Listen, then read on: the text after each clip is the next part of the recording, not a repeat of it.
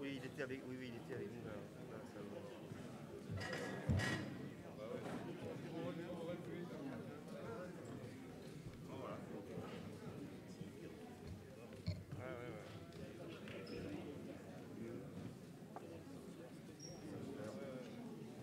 Le maire, le président, c'est les vice-présidents, bonjour. Je croyais qu'il y en avait trois, j'ai dit, oh. Ah ouais, non, c'est bon, il n'y a que deux.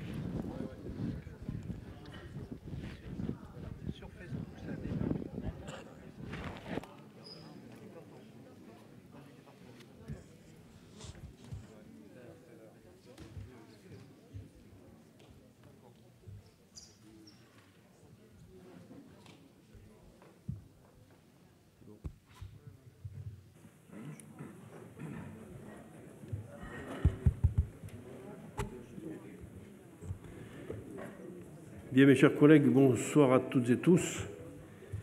Donc, il est 18h02. Cette séance du lundi 27 euh, septembre 2021 est donc ouverte. Le vote de, délibération se fera donc à l'aide du boîtier Quizbox. Et je rappelle donc que ce boîtier doit rester sur les tables avant de- en fin de séance. Et en même temps, donc, euh, de signaler à l'agence toute sortie de façon à pouvoir tout mouvement empêchant votre vote. J'aurai tout à l'heure la lecture donc des, élus représentés en désignation de secrétaire de séance. euh, Est-ce qu'il y a un volontaire? Même parmi les... Pas forcément. Mme Corcoral? Allez, Mme Corcoral, elle sera secrétaire. Donc, il y a l'approbation du procès-verbal du Conseil du 28 juin 2021. Est-ce qu'il y a eu des observations? Non. Alors, avant de passer à un quelconque vote, je propose que nous puissions euh, faire un essai sur les Quizbox, qui n'est pas de problème. Est-ce que c'est possible? C'est bon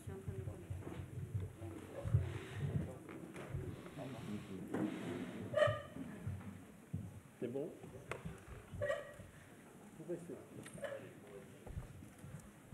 On peut y aller. Donc un essai pour, euh, pour voir si tout fonctionne bien.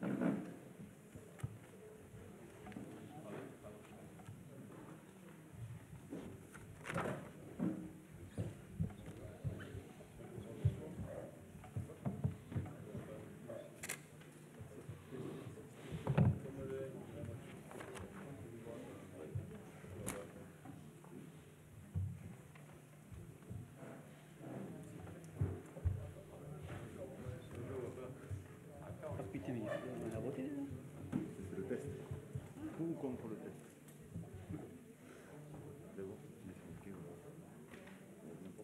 la limite.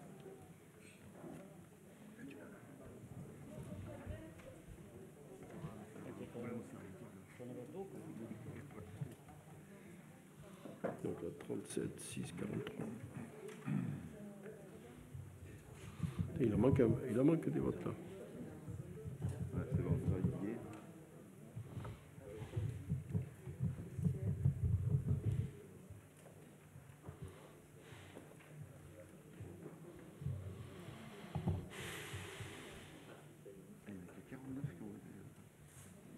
appuyer sur les deux toi Oui, il a fait, il existe, c'est bon.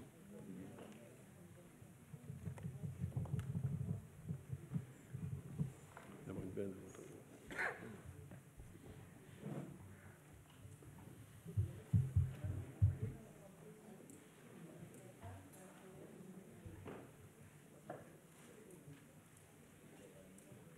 Truc à baisse.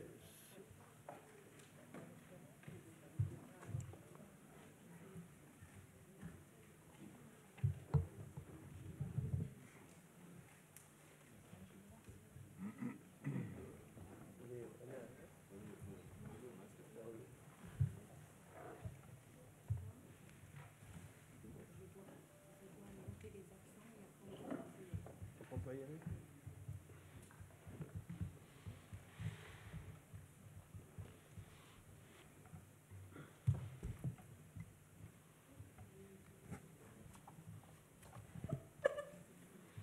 Dans les, les absents, je sais pas combien il y en a. Avec les procurations.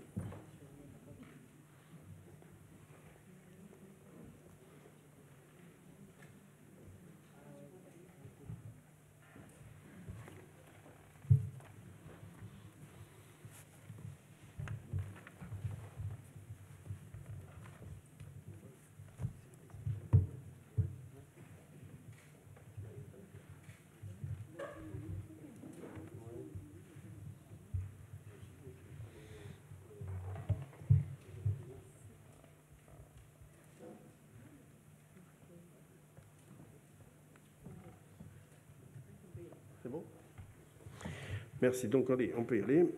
Donc, il y a euh, la désignation, enfin, le, procès verbal du Conseil euh, de 28 euh, est soumis à votre approbation. On passe au vote, si vous le voulez bien.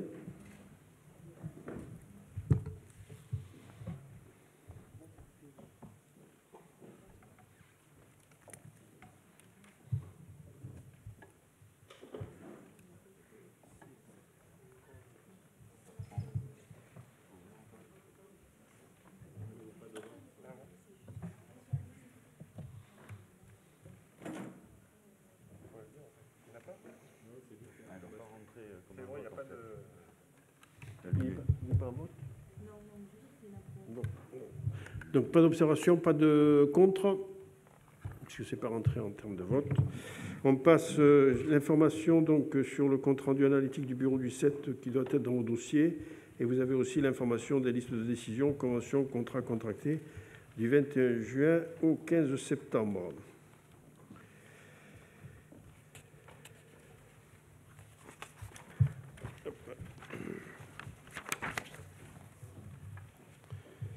Donc, je dois vous informer du retrait de la délibération numéro 17 concernant le développement économique et qui concerne la pépinière Creativa, qui concernait son choix de mode de gestion.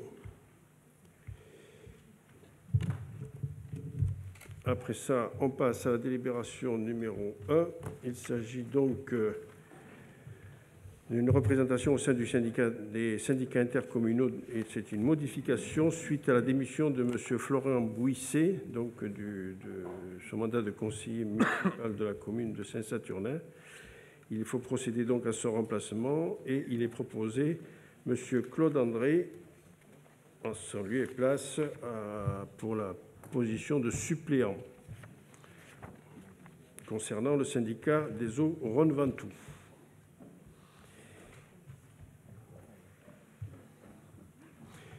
Je vous propose de la- de l'adopter à main levée, mais il faut, enfin, il faut qu'il y ait euh, tout d'abord une unanimité sur le vote à main levée. Est-ce qu'il y a des gens qui sont opposés au vote à main levée ou, ou sinon on devra passer au vote à bulletin secret? Pas d'observation, donc je propose que l'on passe au vote pour M. Claude André en sa qualité de suppléant sur le syndicat Rhône-Ventoux.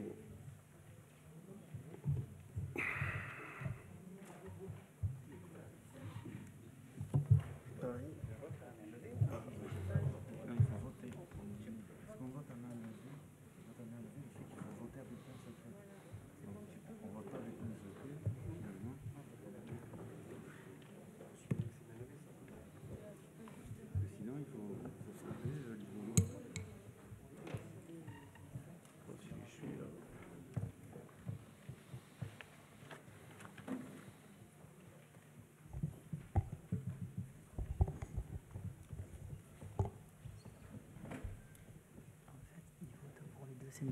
Citeux et le syndicat Rhône Ventoux. Parce que c'est la même délibération, il y a à la fois, Ah ouais, ouais, je peux- à la fois le syndicat Rhône Ventoux, c'est c'est le même à chaque fois.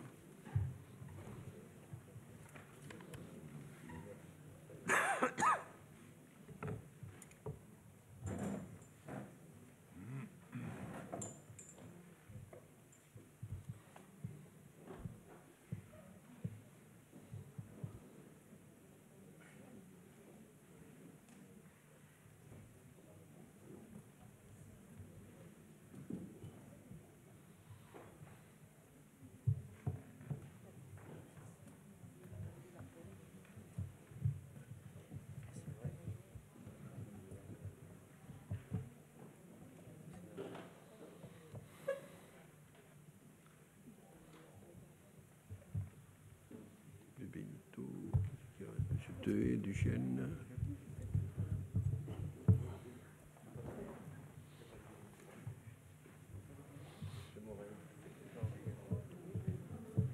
Monsieur Guy David et Monsieur Morel, vous n'avez pas voté. Voilà, donc euh, c'est bon, tout le monde a voté, unanimité. Je m'excuse, j'ai oublié, j'ai omis aussi que ça concernait le, sa, place de suppléant aussi au syndicat du site, puisque c'était le et Citeux. Délibération numéro 2, il s'agit là du budget principal. Et pour ce faire, je laisse la parole à Monsieur Xavier Belleville. Monsieur le Président, mes chers collègues, si vous le voulez bien, on a l'habitude maintenant, enfin j'ai l'habitude de vous proposer une lecture générale des, documents budgétaires. C'est ce que je vous propose de faire dans, cette, dans ces quinzaines de libérations qui vont suivre, savoir vous faire une présentation générale et attirer votre attention sur les, éléments un petit peu importants de ces budgets euh, supplémentaires. Et puis dans un deuxième temps, répondre à vos questions euh, et, et voir écouter vos interventions si vous en aviez en sachant que pour le coup, euh, ces budgets supplémentaires sont véritablement un acte technique, puisque, comme vous le savez, il s'agira d'une reprise et affectation des résultats du compte administratif 2020, de la, reprise des restes à réaliser de ces mêmes comptes administratifs, et, éventuellement des ajustements et ouvertures de crédit sur l'exercice 2021. Alors pour ce faire, on vous a présenté, on vous a proposé une petite présentation, mais je pense qu'elle n'est pas affichée si je ne l'ai pas devant moi. Donc j'attends qu'on puisse vous la présenter pour que vous puissiez suivre ce que je vais vous dire. Voilà. Merci.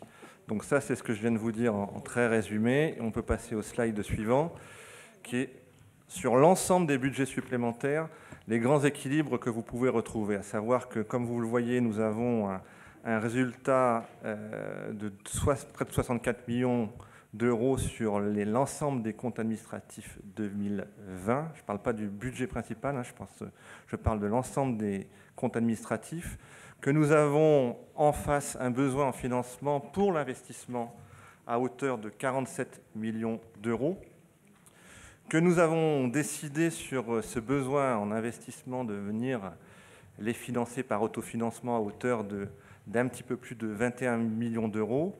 Le reste, nous avons souhaité euh, euh, le financer par emprunt, et ces emprunts, comme vous avez pu le voir dans les, budgets, concernent essentiellement le transport urbain à hauteur de 20 millions d'euros et un petit peu la GEMAPI à hauteur de 1,5 million d'euros.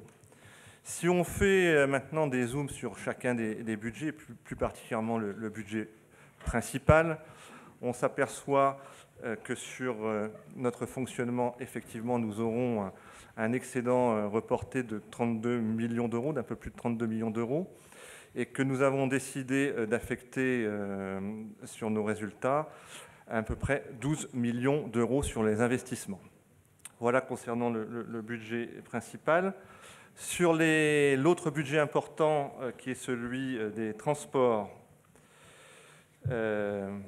alors sur on va continuer un peu sur le budget principal. Si vous pouvez me donner, on, va vous donner quelques informations dessus quand même. Euh, sur les éléments saillants que j'évoquais tout à l'heure, nous avons en, en recettes euh, supplémentaires perçu une contribution euh, solidarité Covid qui nous provient du Conseil général du Vaucluse de 463 euh, K euros. Donc, une belle contribution qui nous permettra, vous le verrez, de venir contribuer à un certain nombre de, budgets pour aider les, professionnels qui ont souffert dans ce domaine-là. Nous avons en matière de dépenses euh, une charge de personnel auquel je vous propose d'affecter des crédits à hauteur de 220 000 euros supplémentaires afin que nous puissions euh, terminer l'année sur ce budget-là. 220 euh, 000 euros sur, sur 16 millions d'euros, c'est le trait d'une virgule, hein, puisque, je vous le rappelle, la masse salariale de notre collectivité locale sur le budget principal est de 16 millions d'euros. Donc c'est pour faire le parallèle par rapport aux besoins supplémentaires. Euh, nous avons besoin de donner un certain nombre de subventions d'équilibre supplémentaires, on, le verra dans les autres budgets, euh, notamment tourisme, ZAC TGV, Avignon Tourisme, Creativa. Euh, sur le budget, nous avons eu quelques dépenses supplémentaires imprévues, comme l'achat de la participation à l'achat de masques, et puis une étude, une étude sur la problématique euh, des gens du voyage. Donc vous le voyez inscrit ici. Et par contre, nous avons eu un, certain nombre de, recettes supplémentaires, une subvention d'équipement pour le masque de Carl. Et euh, nous le verrons tout à l'heure dans les autorisations de, paiement et crédit, affecter euh, une modification d'opération qui nous permet de rajouter 210 000 euros dans nos, en moins dans nos dépenses. Voilà pour le budget principal. Euh, je vous propose maintenant de passer à l'autre budget très important, qui est celui euh, des, transports urbains. Euh, là aussi, quelques éléments supplémentaires en, dépenses comme en recettes. En recettes, nous avons l'emprunt d'équilibre. Vous le savez, c'est une pratique que nous avons ici dans, dans, cet établissement public de coopération intercommunale. On essaye de mobiliser les emprunts le plus tard possible pour avoir le moins de frais financiers à venir. C'est-à-dire qu'on avait inscrit 10 euh, millions d'euros en, début d'année, euh, sachant qu'on aurait effectivement pour ce budget de transport besoin d'un petit peu plus, mais nous n'avions pas besoin de les mobiliser tout de suite, donc on vous propose de les mobiliser maintenant en emprunt d'équilibre, d'inscrire 20 millions d'euros, je ne sais pas si nous irons jusque-là, mais en tout cas de permettre pour la fin de cette année de, euh, de terminer ce budget à la fois en, recettes et en, en, fonctionnement et en investissement. Donc on retrouve aussi dans ce, budget la problématique des, ombrières, hein, sur lequel on, était, on, a déjà parlé ce, sur, ce, sur ces conseils communautaires. Euh, la charge de personnel, là vous le voyez, c'est euh, vraiment plus que c'est moins que le trait de virgule. C'est 22, 22 000 euros pour le reclassement d'un agent. En matière de dépenses, nous avons quelques aménagements. Quand on voit Carrefour, Roca d'Avignon, c'est des ajustements concernant le tram. Donc on, a des petits ajustements à faire dans le courant de l'année. C'est pour ça qu'on vous propose de l'inscrire sur ce budget supplémentaire. Sur les ordures ménagères, vous rappelez que c'est un budget sur lequel on avait euh, déjà fait une reprise des résultats pour lui permettre d'être équilibré. Donc, euh, c'est ce que nous avions fait dans le cadre du vote du budget primitif.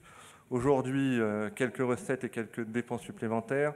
En recettes, nous avons des régularisations de charges rattachées de l'exercice 2020, euh, donc pour 180 000 euros, c'est pas, c'est pas, c'est pas, c'est bien, c'est pas négligeable. Donc on, les, on les affiche en, recettes. Nous avons quelques charges de personnel supplémentaires. Vous savez qu'on fait pas mal appel à l'intérimaire parce que euh, il y a parfois des charges supplémentaires et c'est difficile de euh, d'appeler tout de suite, de, les, de, les, encadrer dans le cadre, j'entends le, vice-président personnel qui me dit oui à côté, parce que c'est compliqué parfois d'adapter à des postes fixes les demandes supplémentaires qui viennent sur ce type de, marché. Nous avons un marché d'entretien des, bennes d'ordures ménagères, enfin rien, de, rien que de très classique, sur lequel nous sommes venus abonder à hauteur de quasiment 120 000 euros. Et puis vous voyez, nous avons une participation un peu plus importante à la déchetterie de, de à hauteur de 91 000 euros, qui concerne une augmentation du tonnage. Et donc, comme notre marché est en fonction du tonnage, on est obligé d'y répondre par, euh, par ce budget supplémentaire. Voilà concernant les, ordures ménagères, je vous propose de passer à un budget euh, important lui aussi, c'est celui de, l'opéra. Sur l'opéra, euh, une bonne nouvelle, nous avons eu un fonds de compensation de billetterie qui vient de l'État. euh, 136 000 euh, K euros, 136 000 euros qui nous ont été octroyés par l'État. Nous avions rempli le dossier et pour permettre de diminuer un peu euh, notre, notre baisse euh, de recettes en matière de billetterie. Ça vient pas bien, évidemment, malheureusement, ça ne vient pas totalement l'effacer, mais ça apporte, euh, euh, je dirais, euh, ça permet de nous équilibrer quand même de façon plus, plus facile avec cette subvention. L'emprunt d'équilibre de la même façon, hein, que ce que je vous ai dit pour les transports, c'est vrai aussi pour, pour l'opéra. Et puis vous voyez dans les dépenses, euh, quelques petites dépenses supplémentaires euh, en matière d'hygiène et sécurité, pro- programmation de spectacles, mais aussi parallèlement, et ça c'était plutôt des spectacles annulés, mais Claude pourrait nous le, confirmer, sur les années précédentes, les spectacles annulés en 2020, donc euh, une somme supplémentaire à rajouter dans ce, dans ce budget euh, supplémentaire 2021. Voilà pour le budget de l'opéra. Pour le flux de tourisme, je vous parlais tout à l'heure de la subvention d'équilibre du budget principal que nous avons augmenté de 86 K euros, 86 000 euros, mais parallèlement, ça nous a permis aussi de venir abonder notre plan de soutien euh, promotion tourisme. Euh, sinon, rien de véritablement important sur ce, budget. Vous voyez, il y a une petite régularisation d'amortissement, donc euh, pas grand-chose à dire sur ce budget. Pour le budget de l'eau, il y aura encore moins de choses à dire, puisque là, c'est un budget, on se contente de reprendre les résultats et il n'y a pas d'ajustement de crédit. C'est un budget, comme vous le savez, qui est équilibré par rapport à ses recettes et ses dépenses. Budget d'a- d'assainissement, nous avons un, petit élément euh, qui est venu, pas perturber, mais qui aujourd'hui est, régularisé, c'est les, budgets annexes de Montfaucon et de Peugeot. Donc il y avait besoin de venir euh, clôturer tout ça. Donc euh, pour les financer, nous avons dû faire un petit emprunt de 178 000 euros, mais que vous retrouvez parallèlement en, dé- en dépenses sur, sur les dépenses, en clôture du budget annexe Peugeot, comme je vous l'ai dit à l'instant. Sur euh, le budget assainissement, je viens de vous en parler. Sur le budget GEMAPI, euh, donc là, nous avons euh, également quelques petits ajustements à faire avec, je vous en ai parlé en introduction, un emprunt d'équilibre à hauteur d'un million cinq, une étude que nous avions prévue en fonctionnement, mais comme cette étude va contribuer à faire des dépenses d'investissement, vous le savez, nous avons le droit, la législation nous le permet de la passer, et nous le devons même, la passer en investissement, donc c'est ce que nous faisons, hein, en dépenses euh, à la fois en investissement et en fonctionnement pour rendre équilibré cette étude, ce poste en tout cas. Voilà pour la GEMAPI. Euh, Pour euh, les budgets euh, annexes des AC, là, pas de souci. hein. Je vous rappelle que ce sont des, budgets qui sont déficitaires, hein, puisqu'on fait les opérations de viabilisation des terrains et tout ce qui va avec. Et donc, c'est en fin de budget, à la vente des terrains, qu'on retrouve l'équilibre. Donc là, rien à, rien à dire de particulier sur ces, sur ces budgets. Et enfin, des tout petits budgets euh, sur euh, Creativa, sur les baux et sur le parking de la gare TGV, qui, vous le voyez, euh, ne connaissent pas d'ajustement particulier quant à, par rapport au budget primitif.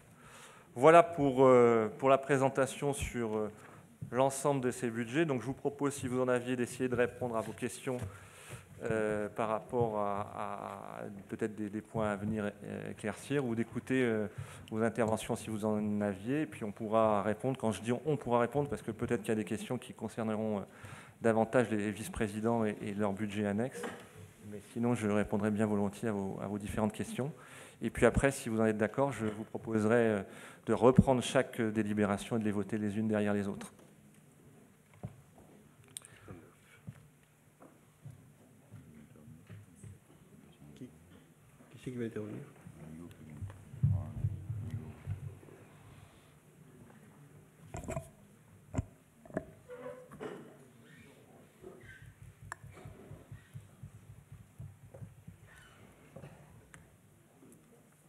Oui, Monsieur le Président, Monsieur le rapporteur, mes chers collègues.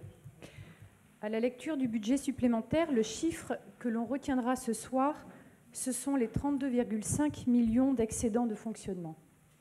L'année dernière, il était d'un peu plus de 26 millions et depuis plusieurs années, c'est la même chose. Même s'il vaut mieux en effet un excédent qu'un déficit, une communauté d'agglomération est bien là pour engager un certain nombre de dépenses pour le territoire et ses habitants. Force est de constater que chaque année, on reprend les excédents capitalisés qu'on ajoute aux nouveaux excédents. La raison en est qu'il y a bien un manque d'investissement, soit qui n'ont pas été prévus, soit n'ont pas été réalisés. Dans les deux cas, cela paraît bien surprenant. On a bien compris qu'au travers de l'examen du budget principal et budgets annexes, une partie des excédents a bondé certains budgets annexes, le principal étant le budget transport, mais est-ce vraiment son rôle? D'autant qu'il y a des besoins de dépenses d'équipements en grand nombre, je pense notamment aux kilomètres de voirie, au grand nombre d'espaces verts et surtout aux voiries qui ne sont pas d'intérêt communautaire, mais qui ont besoin grandement d'amélioration. Je crois qu'une piste à suivre serait d'abonder des fonds de concours pour les communes qui sont en charge de leur réseau de voirie et qui recherchent des financements. Cela permettrait de réduire leurs emprunts pour financer ces travaux de rénovation ou de modernisation de leur voirie. Une autre piste pour le Grand Avignon serait d'utiliser ces excédents pour se désendetter et même financer la GEMAPI, car même si la taxe existe et qu'elle n'est pas très élevée, les sources de son financement existent dans le budget principal. Il est certes nécessaire d'avoir un réseau de transport moderne, mais il n'y a pas que le transport. Il y a aussi la cohésion des territoires, le développement économique auquel le Grand Avignon donne une faible importance au regard des investissements réalisés. 1,5 million, c'est bien peu, comme 1,7 million comme les travaux sur le pluvial. Cet excédent récurrent d'année en année dénote un manque de projets, voire, je n'ose le croire, un manque d'ambition pour notre territoire. Enfin, dernier point, nous aimerions avoir quelques précisions sur la somme des 117 000 euros que vous avez identifiés comme des frais de contentieux de l'ancienne directrice de GAA. Qu'entendez-vous comme frais de contentieux? S'agit-il de frais de justice, de frais d'avocat ou de dommages et intérêts? Voilà les différentes remarques que nous voulions faire ce soir sur ce budget supplémentaire 2021. Je vous remercie.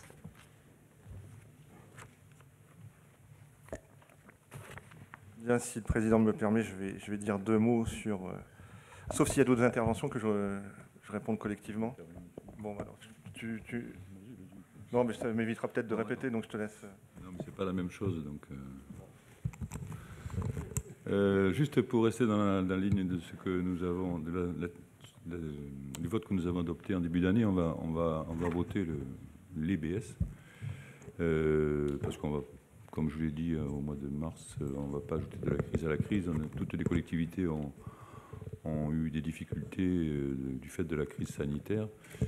Voilà, pour 2021, c'est comme ça. moi, je me pose des questions sur les, sur les emprunts d'équilibre, là.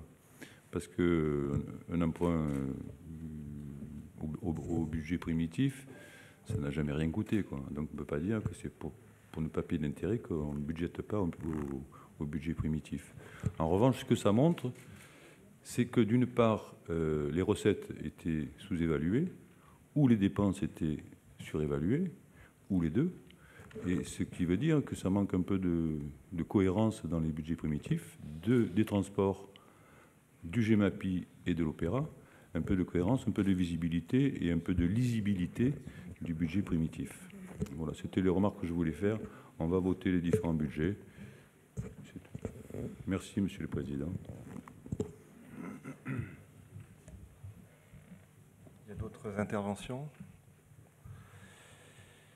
Bien, donc je voudrais répondre sur effectivement cet excédent budgétaire de 32 millions d'euros et vous remercier d'être une lectrice attentive des, budgets intercommunaux. Euh, je voudrais aussi reprendre ce que vous avez dit. Il faut mieux être interpellé sur plus d'argent que moins d'argent. C'est vrai que je... Qu'est-ce qu'on n'aurait pas entendu si on était euh, très fragile ou très faible en matière de, d'excédent budgétaire? Et justement, cet excédent budgétaire, quand on a des grandes ambitions, par exemple comme le tram, quand on, en a eu comme l'opéra et qu'on en a encore, ça permet d'aller voir les organismes financiers et de leur demander de nous prêter à moindre frais. Parce que ce ratio, c'est aussi une garantie de bon fonctionnement de la collectivité territoriale. Ensuite, 32 millions d'euros d'excédent budgétaire. Il ne vous aura pas échappé, je m'étais engagé, mais malheureusement, on a aussi eu quelques retards dans la mise en place du projet de territoire. Je vous avais dit que ce budget supplémentaire pourrait être l'occasion, justement, de, de re- recascader euh, notre ambition à travers ce projet de territoire. Le projet de territoire est intervenu fin juin, vous savez les lourdeurs quand même des procédures budgétaires. Donc aujourd'hui, euh, dire que ces 32 millions d'euros sont mis de côté et, et ne servent à rien, c'est pas une vérité. Aujourd'hui, ces 32 millions d'euros, ils vont servir effectivement à une partie de notre ambition territoriale que nous avons avec notre projet de territoire. Vous parliez tout à l'heure de, fonds de concours aux, aux communes. Eh bien, c'est une proposition qui a été déjà lancée euh, en bureau, ou plus, ou- ou plus exactement en réunion des vice-présidents, puisque euh, j'ai eu l'occasion, dans l'une de ces réunions, de présenter un projet de mise à disposition de fonds de soutien aux communes, à la différence peut-être qui ne sera pas affecté, directement sur les projets de voirie comme vous l'avez proposé, mais un véritable fonds de soutien sur le reste du mandat pour permettre à nos communes, dans le cadre aussi du projet de territoire et puis de notre grande ambition de développement euh, durable, de pouvoir venir euh, démultiplier en tout cas les financements qu'ils ont sur des, projets qui leur tiennent à cœur. Donc ça, c'est c'est une, c'est une réalité. Euh, nous aurons euh, l'occasion d'y revenir dans le cadre de ce conseil communautaire- mais sachez que dès à présent, euh, cette idée a été euh, déjà euh, évoquée en réunion des vice-présidents et fera l'objet d'une délibération euh, proposée euh, lors d'un prochain bureau. Et puis enfin, je ne peux pas vous laisser dire euh, un manque de projet. Euh, on a effectivement euh, ce projet de territoire, on a le projet de territoire pour l'avenir, mais on a aussi le passé. Quand on dépense 160 millions d'euros euh, dans, des outils de transport, quand on dépense 23 millions d'euros dans des outils euh, culturels comme l'opéra, comme ici, euh, l'autre scène, c'est quand même qu'on a un véritable projet. Et puis enfin, dernière chose, à n'en pas douter, puisque vous parliez du désendettement, si on devait comparer ces 30 millions d'euros à notre encours d'endettement, notre encours d'endettement aujourd'hui est de 290 millions d'euros. Donc les 30 millions, euh, les 32 millions repré- représentent à, peine 10%. Ça prouve donc que, nous avons euh, eu cette volonté euh, d'investir tout au long de ces années et qu'aujourd'hui, notre bonne gestion à la fois des, équipes passées et, actuelles nous permet d'envisager ce projet de territoire avec quelques marges de manœuvre. Et ça, je pense que c'est important par rapport à, l'impulsion qu'on veut donner à notre territoire. Voilà ce que je voulais, je voulais répondre à, à Madame Rigaud sur, euh, sur son intervention. À mon, à mon collègue de, gauche, je vais lui dire que je, très franchement, je ne suis pas à l'aise avec cette, euh, cette procédure personnellement. hein. Je sais que c'est, je l'ai dit, c'est une pratique qu'on a ici euh, de venir, euh, de ne pas anticiper sur les emprunts et de, les, et de venir les solliciter en fin de en fin d'année. Je ne suis pas à l'aise avec cette pratique parce que ce n'est pas quelque chose que je connais euh, dans, ma commune. Euh, je, vous propose que, parce que contrairement à ce que vous dites, par contre, ce n'est pas une mauvaise vision euh, et qu'on va emprunter euh, 20 millions de plus parce qu'au mois de septembre, on s'aperçoit qu'il nous manque 20 millions. Non, tout ça, bien évidemment, on l'a projeté, on l'a envisagé. Mais dans la lecture des documents budgétaires, d'avoir à la fois des déficits euh, de CA et des, emprunts qui ne sont pas mobilisés, c'est vrai que ça, pose, euh, ça, peut, ça peut venir troubler.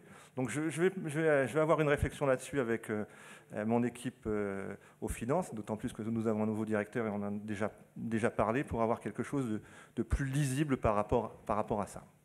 Voilà, Président, les, réponses aux questions que je pouvais apporter. Et je suis d'accord pour répondre à d'autres questions s'il y en a. Ah, excusez-moi, je n'avais pas noté le contentieux. Donc vous savez que quand on a un, contentieux euh, devant les tribunaux, et c'est le cas, euh, il est de bonne gestion et de bonne, euh, il est prudent d'inscrire une somme, en face de ce contentieux. C'est ce que nous avons fait. Ça ne veut pas dire que ce contentieux nous coûtera 117 000 euros, hein, c'est la somme que vous avez évoquée. Il peut nous coûter zéro, comme il peut nous coûter 150 000. Vous savez que les décisions de justice, euh, on ne peut pas les envisager ou les prévoir. Donc, euh, il n'est que saine gestion, de, quand, lorsqu'on a un contentieux, d'essayer d'aller au maximum. C'est ce que nous avons fait par rapport à, par rapport à cela. Bien, merci Xavier. Alors, je voudrais aussi, euh, juste, enfin, la conjoncture qui fait sur ces 32 millions, les explications de Xavier sont assez précises, mais il y a aussi le phénomène de conjoncture de crise, mais aussi de, je dirais, de début et fin de mandat. Donc ça fait que, oui, il y a cette, cette somme qui est aujourd'hui euh, qui est présente, Mais comme le disait très justement Xavier, ça nous laisse augurer de, de très bonnes euh, perspectives d'investissement. Avant de passer au vote de ces délibérations, je voudrais vous signaler donc toutes les- Hop là, pardon. Oui, euh, signaler les procurations. Donc, Monsieur Malin donne procuration à Madame Wix. Monsieur Bouroli me donne procuration. Monsieur Cervantes donne procuration à Madame Rosenblit. Monsieur Martinez-Tocabens donne procuration à Madame Clavel. Monsieur Naoum Claude donne procuration à Madame L.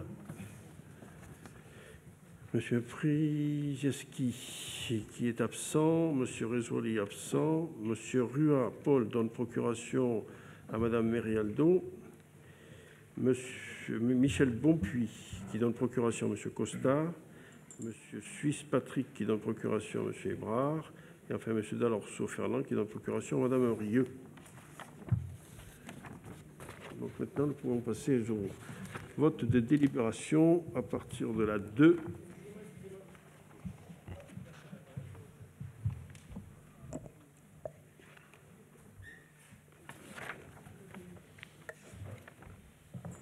Monsieur le Président, Messieurs les vice-présidents, mes chers collègues. Euh, je voulais laisser parler, euh, enfin laisser la place à la discussion budgétaire d'ensemble avant de, saisir sur le budget euh, haut, parce que j'ai cru comprendre qu'on faisait les interventions maintenant. Comme la dernière fois, j'avais saisi le vote sur, un budget haut pour prendre la parole à ce sujet-là. Et du coup, je le refais. Parce qu'entre-temps, j'ai reçu un, courrier euh, signé de la part de, votre part, Monsieur Sandevoir, pour, euh, comment dire, euh, m'inviter à plus de précautions dans mes prises de parole. J'utilisais en effet en, juin dernier le terme d'illégal pour qualifier les factures de- d'eau Grand Avignon qui faisaient payer euh, 19 mètres cubes pour, tout le monde en guise de forfait. Et vous me répondiez que l'article 7 de l'arrêté du 10 juillet 1996 permet des factures intermédiaires basées sur des volumes estimés. Et que donc ces factures n'étaient pas illégales et que je ne devais pas prendre euh, en compte euh, ce que disait le collectif de l'eau, puisque euh, vous soupçonniez que là étaient mes sources. Alors je me permets de vous répondre. J'ai eu pour base de mon intervention, puisque je recoupe mes sources, une note sur la ti- tarification des services de l'eau de l'assainissement du département du Loiret de février 2012.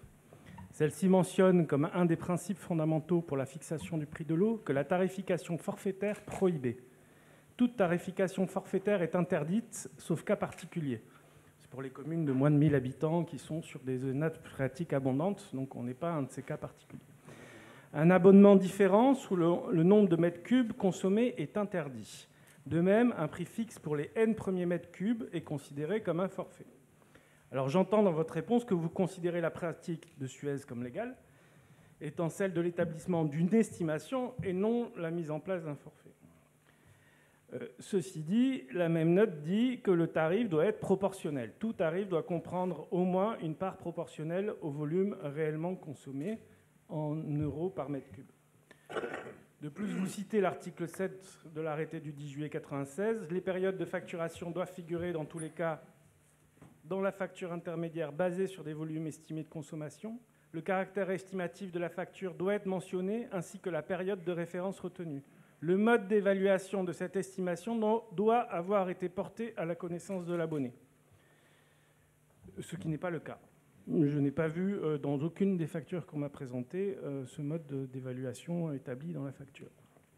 Donc, la loi de 2016, de 2006 est postérieure à la loi citée de 96.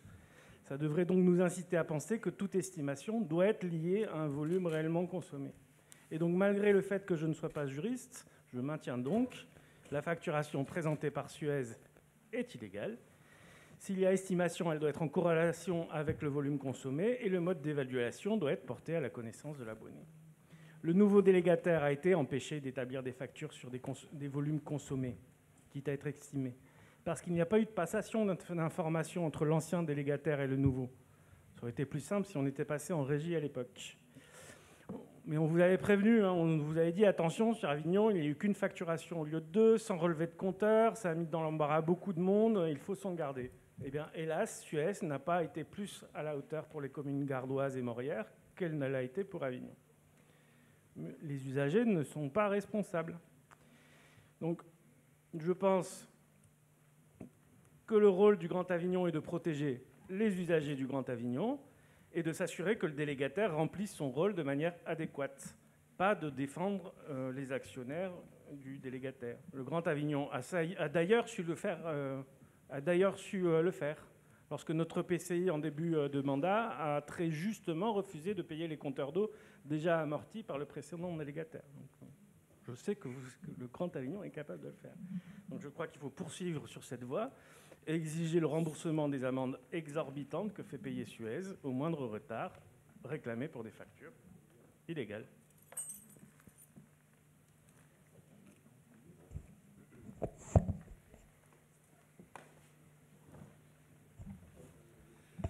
Merci, Monsieur De Benedetto, pour euh, cette question. On en a débattu la semaine dernière euh, lors euh, de la commission consultative des services publics. J'ai eu effectivement euh, l'occasion de vous rappeler que la facture euh, à, fin février, qui a été euh, distribuée plutôt en mars ou en avril, n'était pas un forfait, parce que le forfait, c'est une somme unique, on n'y revient pas.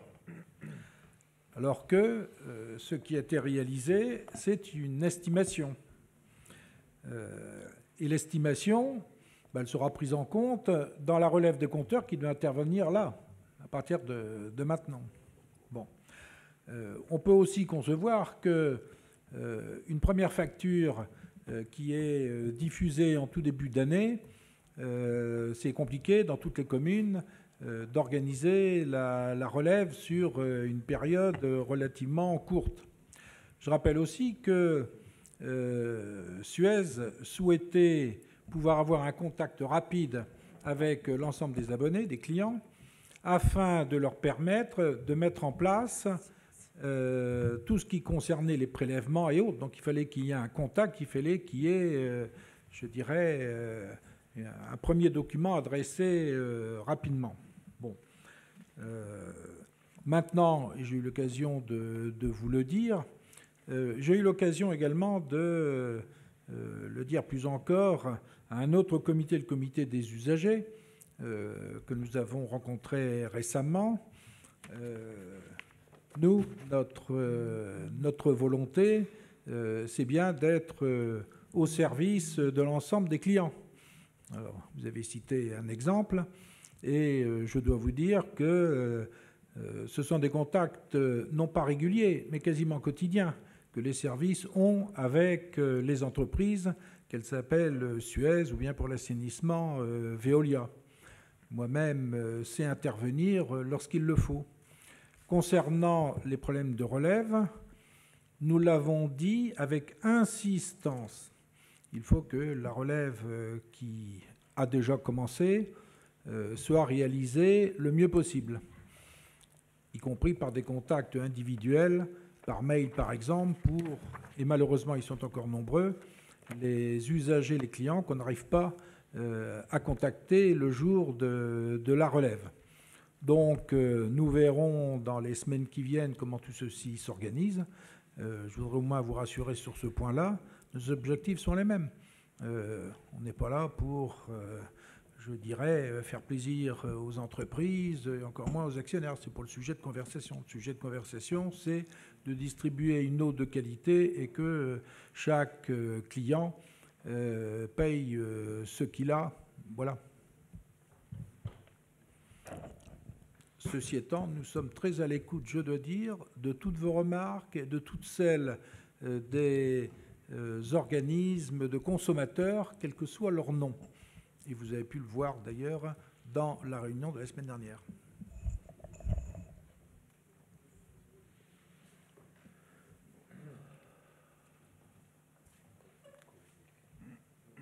Euh, juste, euh, euh, moi je vous interpelle déjà très concrètement sur, euh, sur, sur les amendes hein, qui sont facturées aux usagers. Je vous appelle les usagers, pas les clients, parce que quand on s'adresse à un service public, Les clients. on n'est pas, c'est pas une clientèle. hein, on, est, on, a, on a besoin l'eau est un service essentiel à la vie humaine.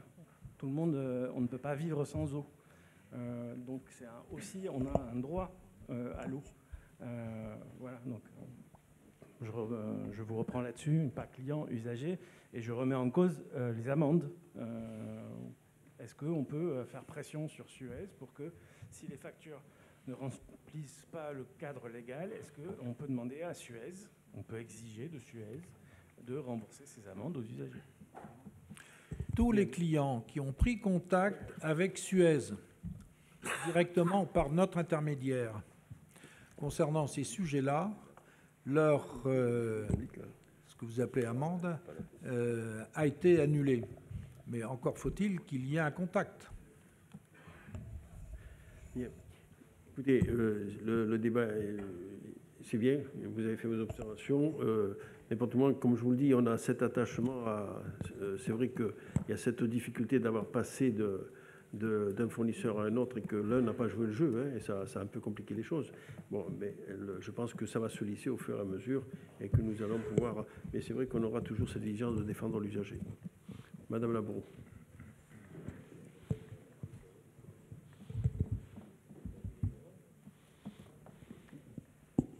Excusez-moi, mais là, ce que vous êtes en train de dire, c'est que s'il y a contact, vous reconnaissez qu'il faut rembourser les amendes, donc vous reconnaissez du coup qu'il y a un problème. S'il n'y avait pas de problème, vous ne les rembourseriez pas, même avec contact. Et du coup, les personnes qui sont mal informées, qui sont souvent les plus fragiles et qui sont souvent en dehors de l'information, comme elles ne savent pas trouver le contact, elles vont payer l'amende. Je, je trouve que c'est juste euh, pas normal. Du moment que vous reconnaissez qu'il y a un problème, puisque s'il y a contact, vous remboursez, à ce moment-là, c'est pour tout le monde. Parce que c'est encore les plus fragiles qui vont devoir assumer cette part d'amende parce qu'ils vont pas vous trouver. Vous savez, le fantasme des gens qui trouvent quand il faut trouver de l'argent, machin, machin, c'est un fantasme. Il y a plein de gens qui n'auront jamais l'information et qui vont être euh, vraiment dans les ennuis euh, parce qu'ils ont ces amendes. Et, on parle là de gens qui vont sacrifier euh, entre un bout de viande et de l'eau, quoi. On ne parle pas de gens voilà, qui, qui, qui ont les moyens et qui sacrifient une place de cinéma pour payer leur amende. On est d'accord? Donc, si vous voulez, je, je trouve que du moment qu'on reconnaît qu'il y a un problème, puisque s'il y a contact, on rembourse, je trouve voilà, que normalement, ça devrait être tout le monde, parce que là, c'est les plus fragiles, ceux qui n'ont pas l'info qui vont trinquer, et je ne trouve pas ça normal de ma part. Voilà. Bien, merci. Une simple, une, si- une simple réponse, parce qu'il y a une réponse. Euh, D'une part, sur les factures, sur toutes les factures, il est indiqué le nom du, l'adresse et le téléphone du service client. Ça, c'est un premier point. Deuxième point, ce. Oui, non, mais c'est écrit quand même. Non, non, mais c'est écrit quand même. La deuxième, réponse, c'est que les gens qui téléphonent, qui ont téléphoné, ce sont ceux qui ont estimé que leur consommation elle était moindre et que dans ces conditions, bon, c'est pour ça qu'on est intervenu. Euh, maintenant, ceux qui ne prennent euh, pas contact, c'est c'est plus compliqué. De la même manière, c'est aussi un sujet de discussion que nous avons eu la semaine dernière, et je vais vous suivre là-dessus lorsque vous dites que euh, mais il y a des gens qui n'ont pas les moyens, et je conçois tout ceci. Je rappelle qu'il y a une politique de chèque eau qui a été mise en place et que les CCAS, notamment ceux d'Avignon, sont, euh, euh, je dirais, très présents sur le sujet. Alors, on me dit également, ce qu'on m'a dit la semaine dernière, mais tout le monde n'est pas au courant. Oui, mais euh, bon, il y, y a- il y a un moment où euh, ça devient un peu compliqué.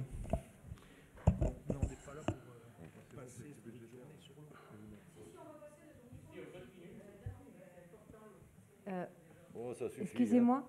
Oui, au sujet de, des CCS, justement, et euh, nous, au niveau d'Avignon, on a fait remonter les difficultés parce qu'on a une enveloppe à distribuer.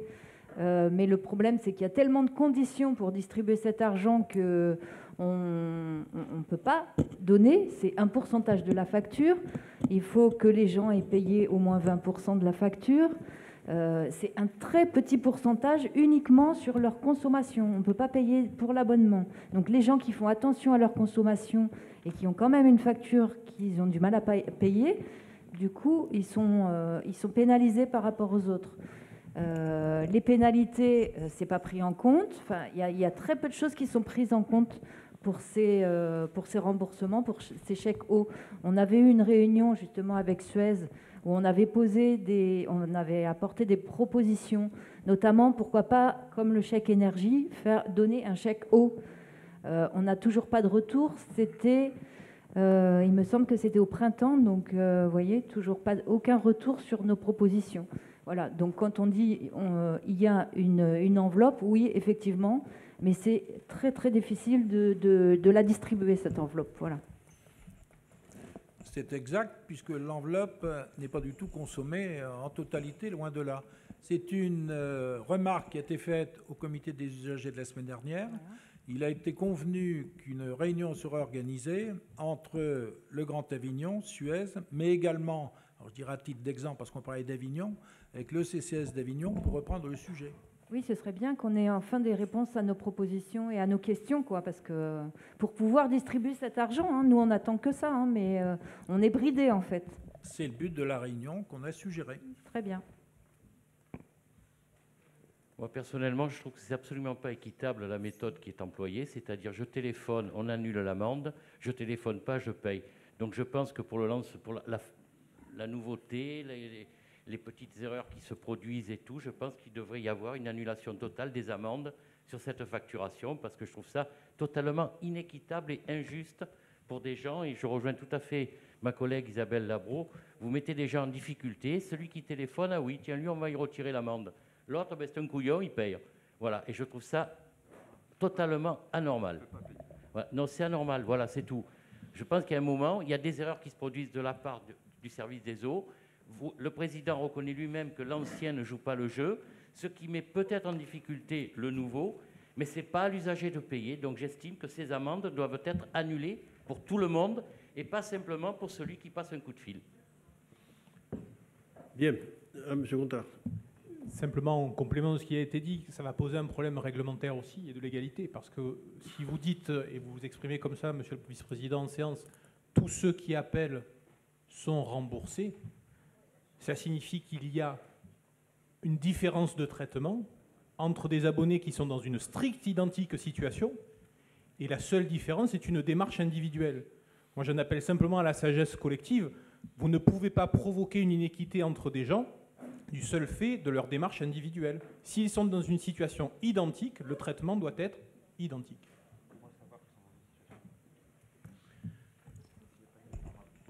Merci. Donc, on prendra en compte ces observations et il s'en reparlera. Donc, j'en passe au, vote, si vous le voulez bien, euh, de la délibération numéro 2 concernant le budget principal, budget supplémentaire 2021. Je, on appelle au vote.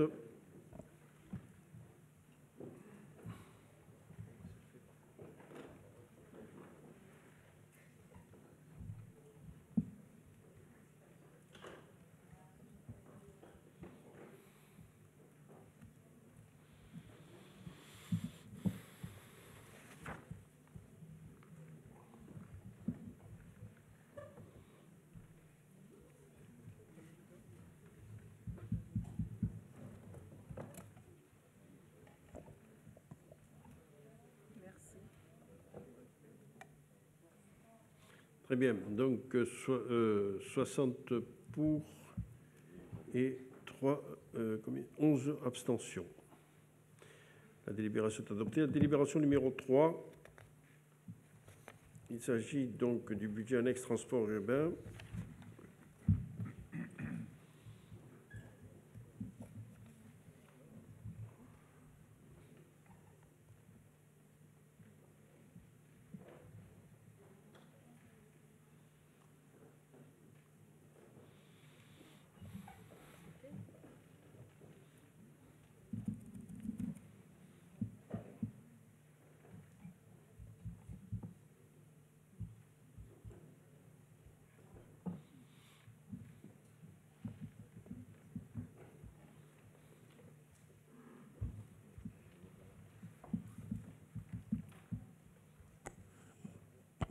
Monsieur le Président, pourriez-vous faire respect- respecter le port du masque, s'il vous plaît? Ben oui.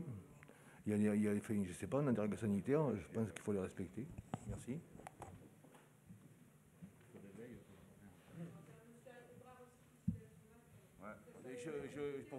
C'est pour tout le monde, hein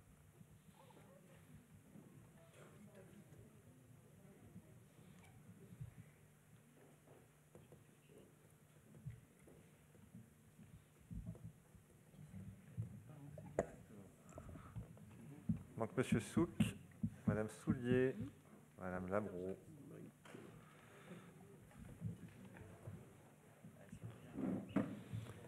Eh bien, tout le monde a voté, 70 pour et une abstention. Délibération numéro 4, budget annexe des ordures ménagères.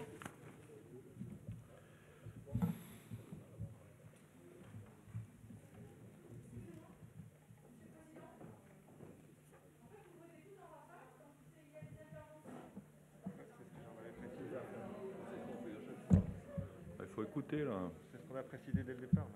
Ça a été précisé en départ, ça Oui, sauf que quand il y a des interventions euh, dissociées suivant les délibérations, euh, c'est difficile de faire une intervention globale. Donc moi, j'ai fait une intervention sur le budget supplémentaire du budget principal 2021. Il y a des élus qui veulent faire des interventions sur des budgets annexes. Mais ils étaient libres de le faire. Mais on va pas le faire. Ben oui, mais au fur et à mesure de chaque vote.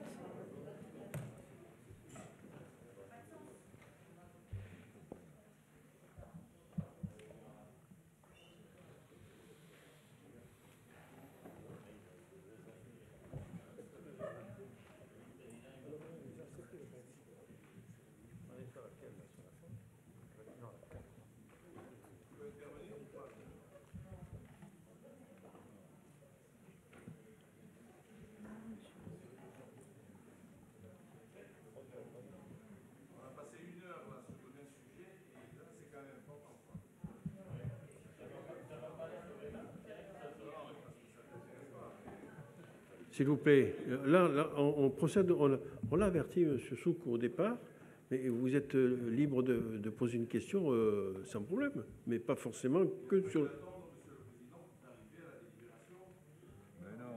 J'ai rien compris. Elles ont toutes été, les, de là 2 à 6, elles ont été déroulées, en précisant que chacun pouvait poser des questions à l'issue donc de la présentation de M. Xavier Belleville, comme cela a été fait.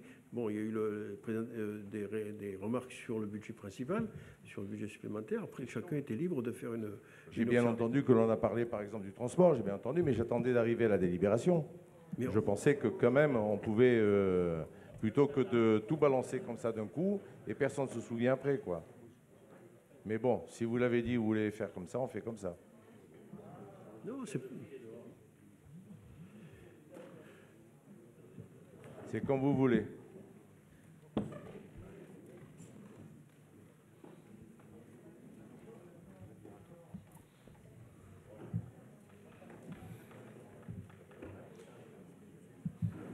Non.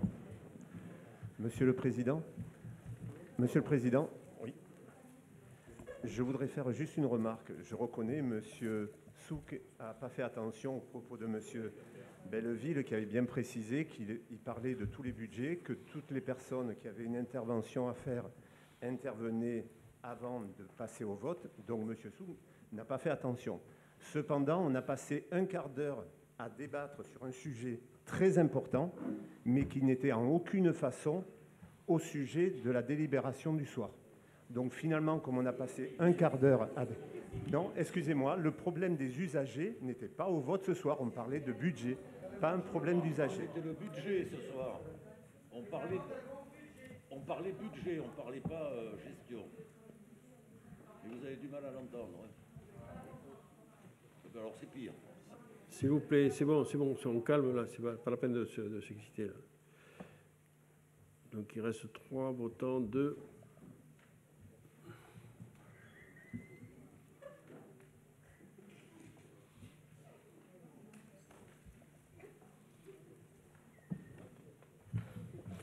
Très bien, donc délibération numéro 4, 70 pour, une abstention adoptée. La délibération numéro 5 concerne le budget annexe de l'opéra.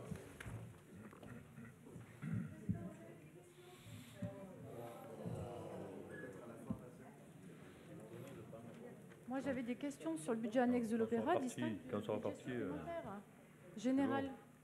Donc j'aimerais faire une intervention sur le budget annexe de l'opéra. Allez-y, on vous écoute. Bien. Sans la, sans la lire, sans la lire, sans la lire. J'ai donc un certain nombre de questions à poser ce soir concernant Ouais. le budget annexe de l'opéra avec des chiffres. J'ai- pas d'ordre à recevoir de vous, Monsieur Peyre. Non, non, mais il Très bien, de- que les choses soient claires. Tout d'abord, Monsieur le Président, un montant de crédit nouveau S'il vous plaît, s'il vous plaît. Un euh, montant de crédit nouveau de 35 000 euros est ouvert au compte 611 au titre des incidents cœur. Est-ce que cela concerne les risques psychosociaux?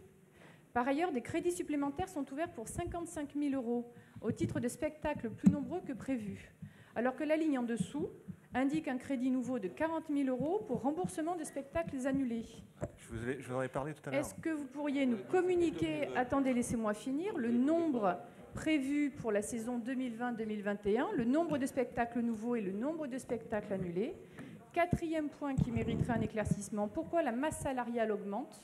Alors que l'opéra n'a pas travaillé ou à moitié pendant plusieurs mois Enfin, Monsieur le Président et Monsieur le rapporteur, quelle est l'explication de l'inscription de la somme de 5 106 825 euros, dont le montant est supérieur aux dépenses reportées de 4 572 295 car en page 18 de la maquette opéra, les dépenses d'équipement s'élèvent à 1 085 388 et 2 880 euros de propositions nouvelles, alors que les emprunts nouveaux, en page 19, s'élèvent à 5 106 825 euros. Je vous remercie. on- Madame Rigaud, on vous fera une réponse écrite. Comme ça, ce sera précis.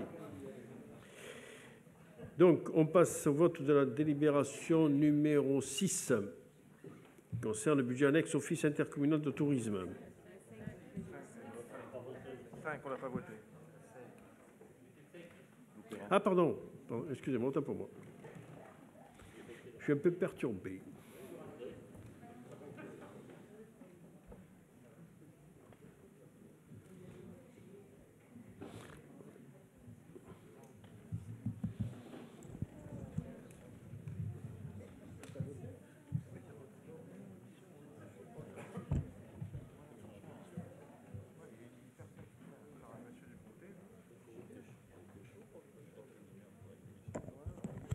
Ils embolisent le conseil. là.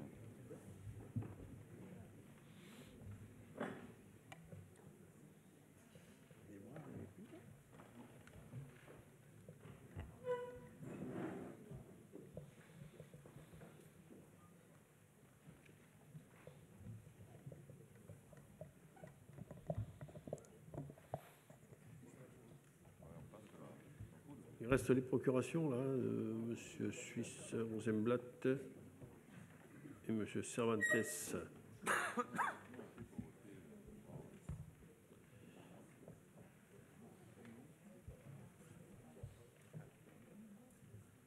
Monsieur, ah voilà, ça y est. Donc 60 pour, 11 abstentions. La délibération est adoptée. On passe à la délibération numéro 6, budget annexe d'Office intercommunal du tourisme.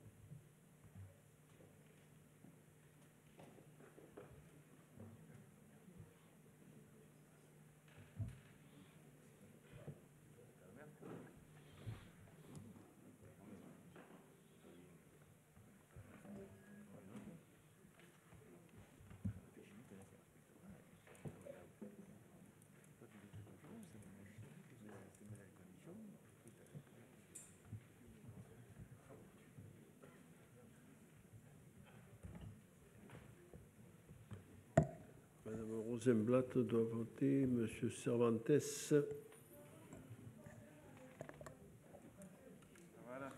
Très bien. Donc 70 pour une abstention, délibération adoptée. On passe donc maintenant à la délibération numéro 7. Monsieur Xavier Belleville.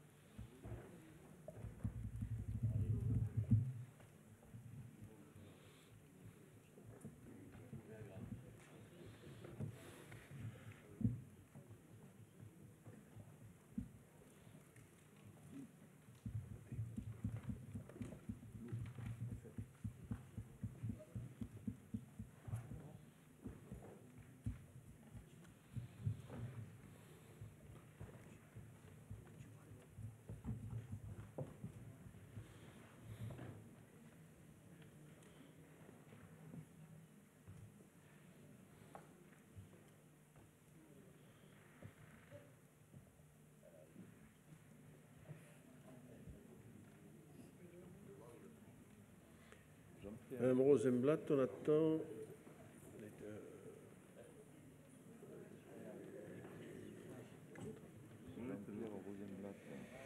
Très bien.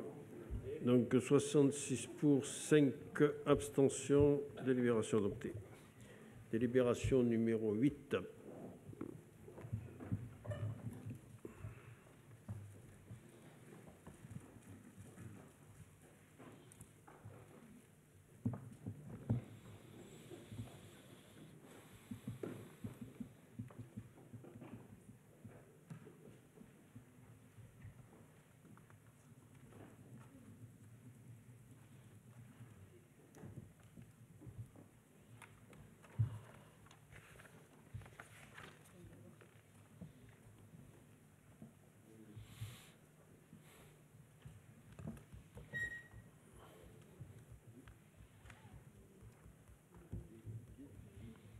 David. Hmm.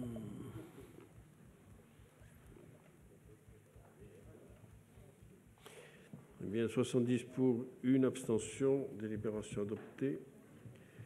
Délibération numéro 9.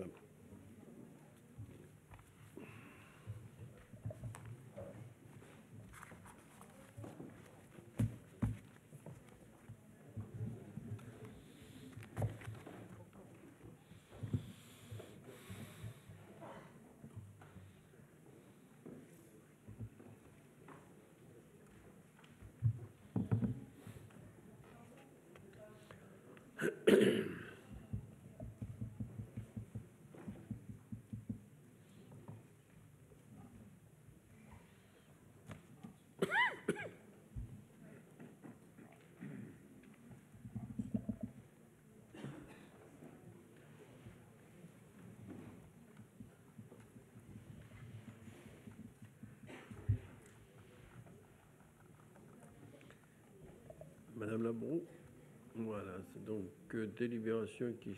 Il y a 59 pour, 12 abstentions. Délibération adoptée. Délibération numéro 10. S'agissant donc du budget annexe, la ZAC du plan.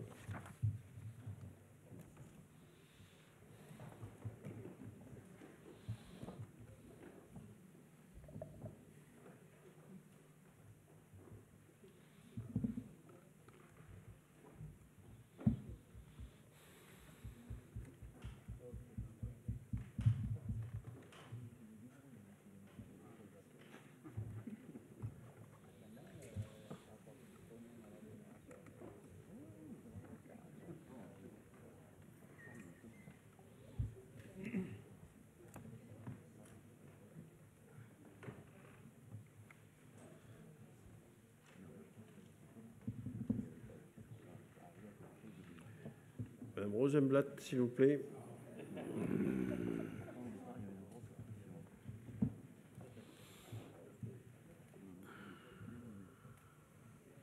Très bien, 61 pour, 10 abstentions, délibération adoptée, délibération numéro 11.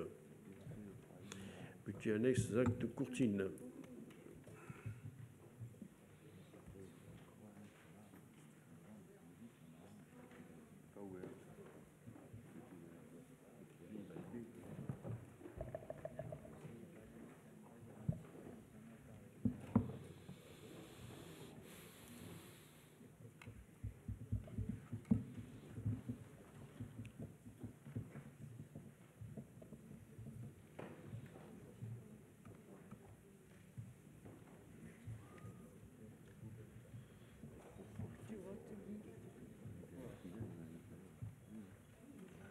Tu votes encore.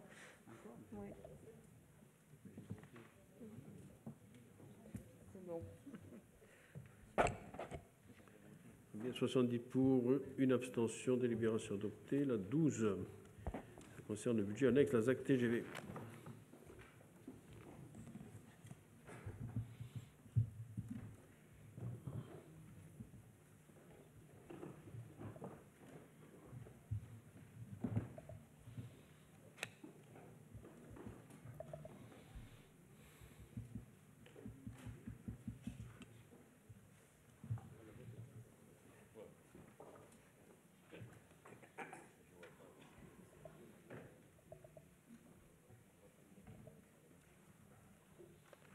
70 pour une abstention adopté.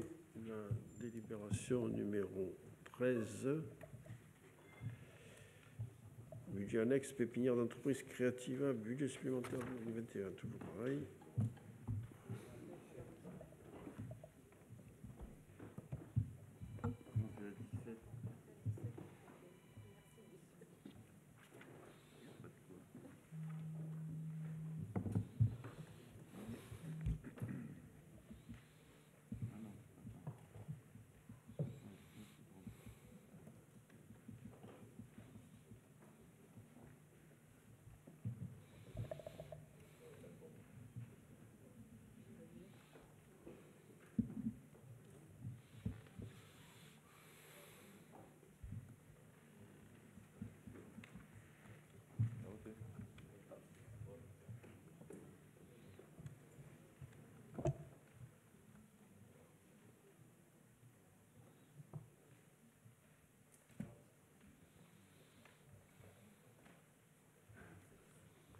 Très bien, 61 pour 10 abstentions. Adopté. Délibération numéro 14. Il s'agit de la, budget annexe des baux.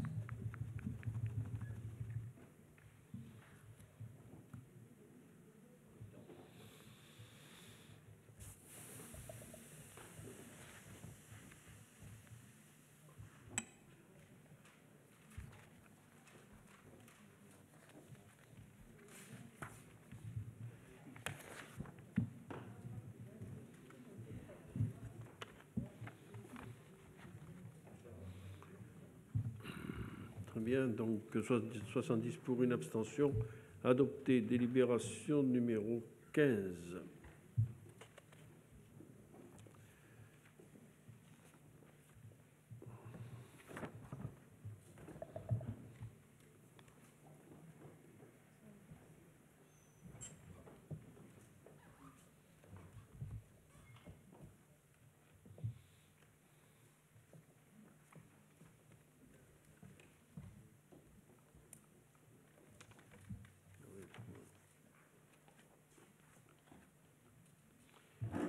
Adopté l'unanimité. Délibération numéro 16.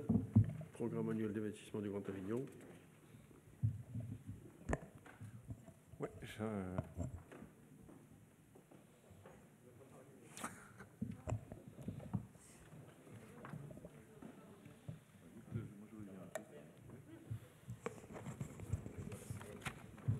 À la fin du vote, donc, vous prenez la parole. Pardon On attend la fin du vote et vous prenez la parole. Oui, d'accord, mais juste, euh, c'est une connerie, hein, parce que ça fait trois fois que je demande à consulter le PPI. Euh, J'ai écrit au président deux fois cet été. Non, mais le PPI, Non, non, non, c'est non, pas- le c'est pas un PPI qui était en cours. C'est là. sur le programme. Le PPI qui était en cours, là. Jusqu'en 2021. demande- Personne ne me répond, mais je vais le dire. Je- J'en ai reparlé en commission.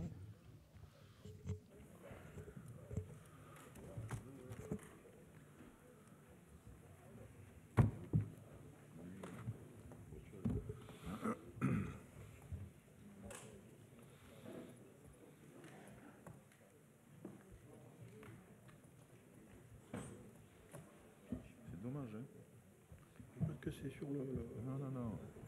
Le premier vice-président, il n'a pas accès au PPI. Non, mais c'est quoi ça? Il est où, là Le PPI. Il paraît que ça n'existe pas le PPI au Grand Avignon. C'est le programme de l'annexe. Ah, d'accord. Je, je peux dire deux mots ou pas non? Oui, bien sûr. Oui, juste au niveau du, pour le sujet du PPI là, que- qui est en cours de vote, je crois que c'est terminé. Euh, je, regrette d'intervenir en, conseil communautaire, mais je m'y vois obligé. J'ai écrit deux fois au président au mois de juillet pour avoir accès au PPI. Ça n'a pas été possible. J'en ai reparlé en commission donc il y a 10 jours. Donc il y avait des, des gens qui l'ont entendu. Je n'ai toujours rien reçu. Je, je trouve ça un peu déplorable. Donc j'aimerais avoir accès au PPI qui se termine, si j'ai bien compris, en 2021, et avoir accès au PPI qui se prépare pour le mandat en cours. Est-ce possible, Monsieur le Président Ju- Juste une réponse sur l'avenir, puisque moi, ce qui m'intéresse, c'est l'avenir. C'est effectivement le PPI euh, de 2021 jusqu'à la, la fin du mandat. Il est en cours de préparation. Il sera présenté, bien évidemment, au, au bureau et, tout le monde en aura connaissance.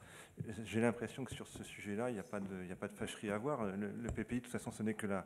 On le retrouve à l'intérieur de chaque budget. Donc, euh, euh, on va redemander le document. Excuse-moi, euh, depuis la commission, je pensais que ça avait été fait. Donc, on va redemander. Mais en tout état de cause, bien évidemment, ce qui me concerne, moi, à partir de, des PPI nouveaux auxquels je participe activement aux côtés du président, il sera communiqué parce que c'est notre, feuille de, route sur les, sur les cinq ans qui viennent. Donc il est normal que le conseil communautaire en soit, euh, soit consulté, en tout cas soit, informé. Donc il n'y a pas de problème là-dessus. Sur le passé, je vais, je vais redemander encore, Joël. Bien, donc la délibération 16 donc, est adoptée à l'unanimité. Nous passons à la délibération 18. Il s'agit donc du bilan de concertation préalable à la DPU concernant la ZAC du plan. Un comité d'agglomération qui souhaite développer une extension de la ZAC du plan euh, existante. Euh, C'est un projet d'extension dont on a souvent parlé et qui est d'actualité encore. C'est avec une entité de 27 hectares, 6, dont 18,1 hectares qui appartiennent au Grand Avignon. Pour permettre sa réalisation, le Conseil de communauté a approuvé par la délibération du 26 avril 2021 le lancement de la procédure de déclaration d'utilité publique en portant la mise en compatibilité du PLU de la commune d'Entraigues, ainsi que les modalités de concertation du public. À l'issue de la procédure, donc le bilan de la concertation doit être approuvé par euh, une délibération qui vous est proposée ce soir, celle du Conseil communautaire, afin d'enclencher la phase administrative de la, déclaration d'utilité publique en portant la mise en compatibilité du PLU. Cette concertation s'est déroulée du 15 juin au 15 juillet 2021. Le bilan euh, joint en annexe de la délibération en reprend les différentes étapes et il en ressort que les observations et les demandes formulées ne remettent pas en cause le projet ni ses objectifs. En réponse aux différentes observations, le Grand Avignon portera une attention à la qualité urbaine de l'opération, à son intégration paysagère, à la prise en compte des modes doux.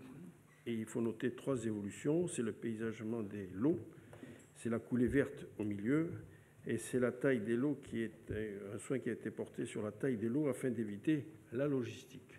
Voilà donc euh, le résultat de ce plan de concertation. Et pour ce faire, je propose ce soir à l'Assemblée du Conseil communautaire d'émettre un avis sur euh, l'aménagement, les mobilités et grands projets réunis le 14... euh, d'approuver pardon, le bilan de concertation préalable à la déclaration d'utilité publique en apportant la mise en compatibilité du plan d'urbanisme de la commune d'Entraigues dans le cadre de l'extension de cette zone du ZAC de- d'Entraigues.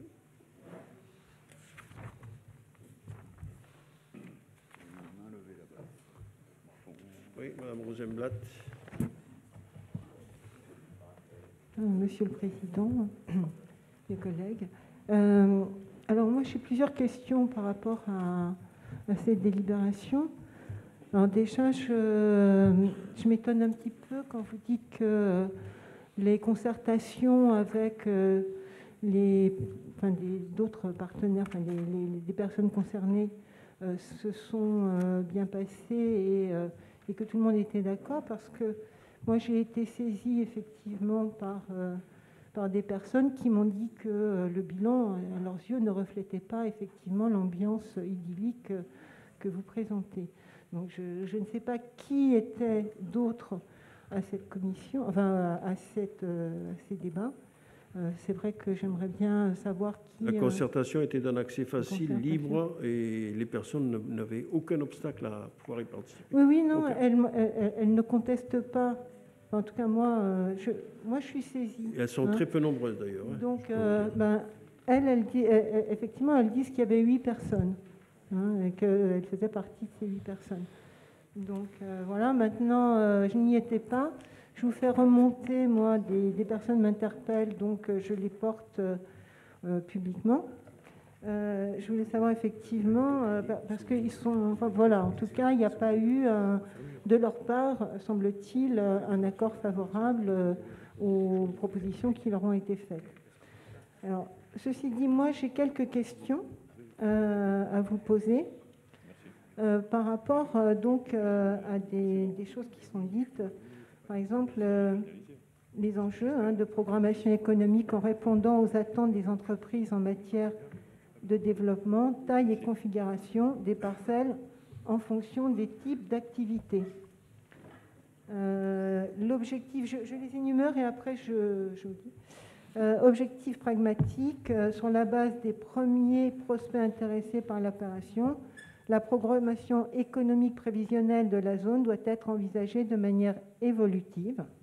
Donc, ce qui m'interpelle, moi, c'est évolutive, dans un cadre large permettant d'accueillir l'ensemble des types d'entreprises des filières de l'alimentaire.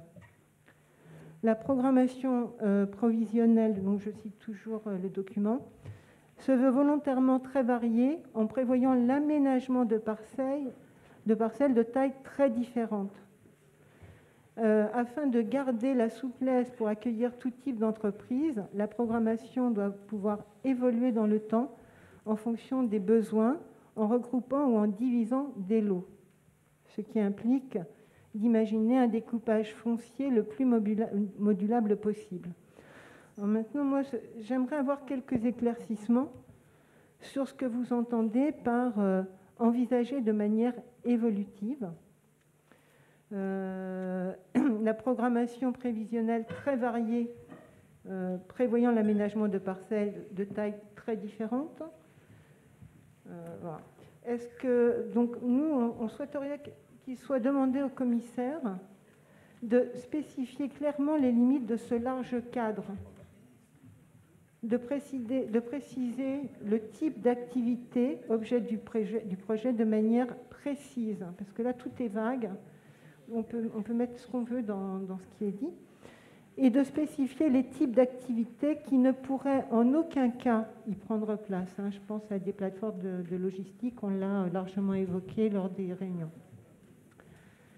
Euh, que les 100 hectares abandonnés du projet initial, je ne sais pas ce qu'il en est exactement, mais en tout cas soient garantis d'une sanctuarisation. Nous avons bien euh, sur le projet effectivement un, un espace agricole préservé, mais ça ne semble pas euh, euh, recouvrir les 100 hectares. Euh, et euh, de quelle manière euh, seront garanties euh, euh, ces terres euh, préservées, cette sanctuarisation? Merci. Écoutez, moi, pour la, variété donc, de, des entreprises qui pourront s'installer, c'est une zone qui est à disposition. Il y a des lots qui vont être définis. Euh, quand, on, parle d'évolution, c'est en fonction. Déjà, il, faut qu'il y ait une entreprise qui s'installe. Et puis après, il y a des demandes d'entreprises dont on ne maîtrise pas la nature. Sauf qu'on sait la nature d'entreprises qu'on ne veut pas. C'est-à-dire d'entreprises polluantes, d'entreprises logistiques. Voilà. Donc ça, c'est déjà euh, on- a, et le maire d'Entraigues est là, euh, il y a une, euh, une, une cible privilégiée, c'est l'agroalimentaire, ou alors avoir de l'industrie propre. Euh, je ne crois pas me tromper là-dessus. Oui, la délibération qui est soumise au vote porte sur le budget annexe de la ZAC du plan. Donc là, la ZAC du plan, c'est ce qui existe. Là, vous parlez d'un projet qui, pour l'instant, a été délibéré par le conseil communautaire, mais qui n'existe pas en réalité. Donc, euh, donc vous parlez d'un autre sujet. Mais cela étant, euh, euh, cela étant donc, ce- ce- cela étant, donc, si vous permettez, je- je- j'essaie de dire quelque chose. Donc, ce- cela étant, donc, effectivement, le, principe qui a été défini par le Conseil communautaire et qui est une volonté de notre agglomération, c'est de développer de l'industrie, autant que faire se peut, de l'industrie agroalimentaire, parce que le, Grand Avignon doit s'inscrire dans, les orientations définies euh, par la région Provence-Alpes-Côte d'Azur, puisque c'est elle qui a la compétence économique et que les agglomérations, les intercommunalités doivent décliner euh, c'est la loi, hein, doivent décliner donc euh, les politiques économiques en fonction des orientations d'intérêts régionaux, des opérations d'intérêts régionaux définies par les régions. Comme vous le savez, donc la région Provence-Alpes-Côte d'Azur, pour ce qui est du territoire, euh, de, notre territoire, pousse à, réaliser dans le sens dit de la naturalité, qui vise euh, à développer des filières, euh, tout un ensemble de filières qui va à la fois de la formation et, et de d'information donc de puisqu'il y aura une école d'ingénieurs qui sera installée à Agroparc à Avignon premièrement De- ensuite euh, il y aura des, unités qui serviront aussi à aider ces ingénieurs à créer eux-mêmes des entreprises dans le secteur de l'agroalimentaire. Il y a ensuite euh, effectivement la, question de l'installation d'agriculteurs autant que faire se peut. C'est la raison pour laquelle nous avons décliné au Grand Avignon un programme alimentaire territorial qui vise à des études en cours qui ne sont pas terminées, qui portent sur le secteur de la, ceinture verte d'Avignon, sur le secteur des foins de Montfavet et sur la commune d'Entraigue, euh, et qui vont, euh, qui sont pas encore terminés, et qui, décident, qui pré- préconiseront donc des, des, des- actions offensives en matière agricole. C'est la première fois que nous lançons sur nos territoires de telles actions, euh, des actions offensives donc pour acheter du foncier euh, et, installer des agriculteurs. Parce que le problème, ce n'est pas tellement le foncier qui pose problème. Euh, du foncier, euh, les 30 hectares dont on parle actuellement pour la zone du plan d'entrée, ça a été décidé en 2005. Hein, c'est pas nouveau. Ce qui pose problème dans nos territoires, c'est pas le manque de foncier, c'est le manque d'agriculteurs.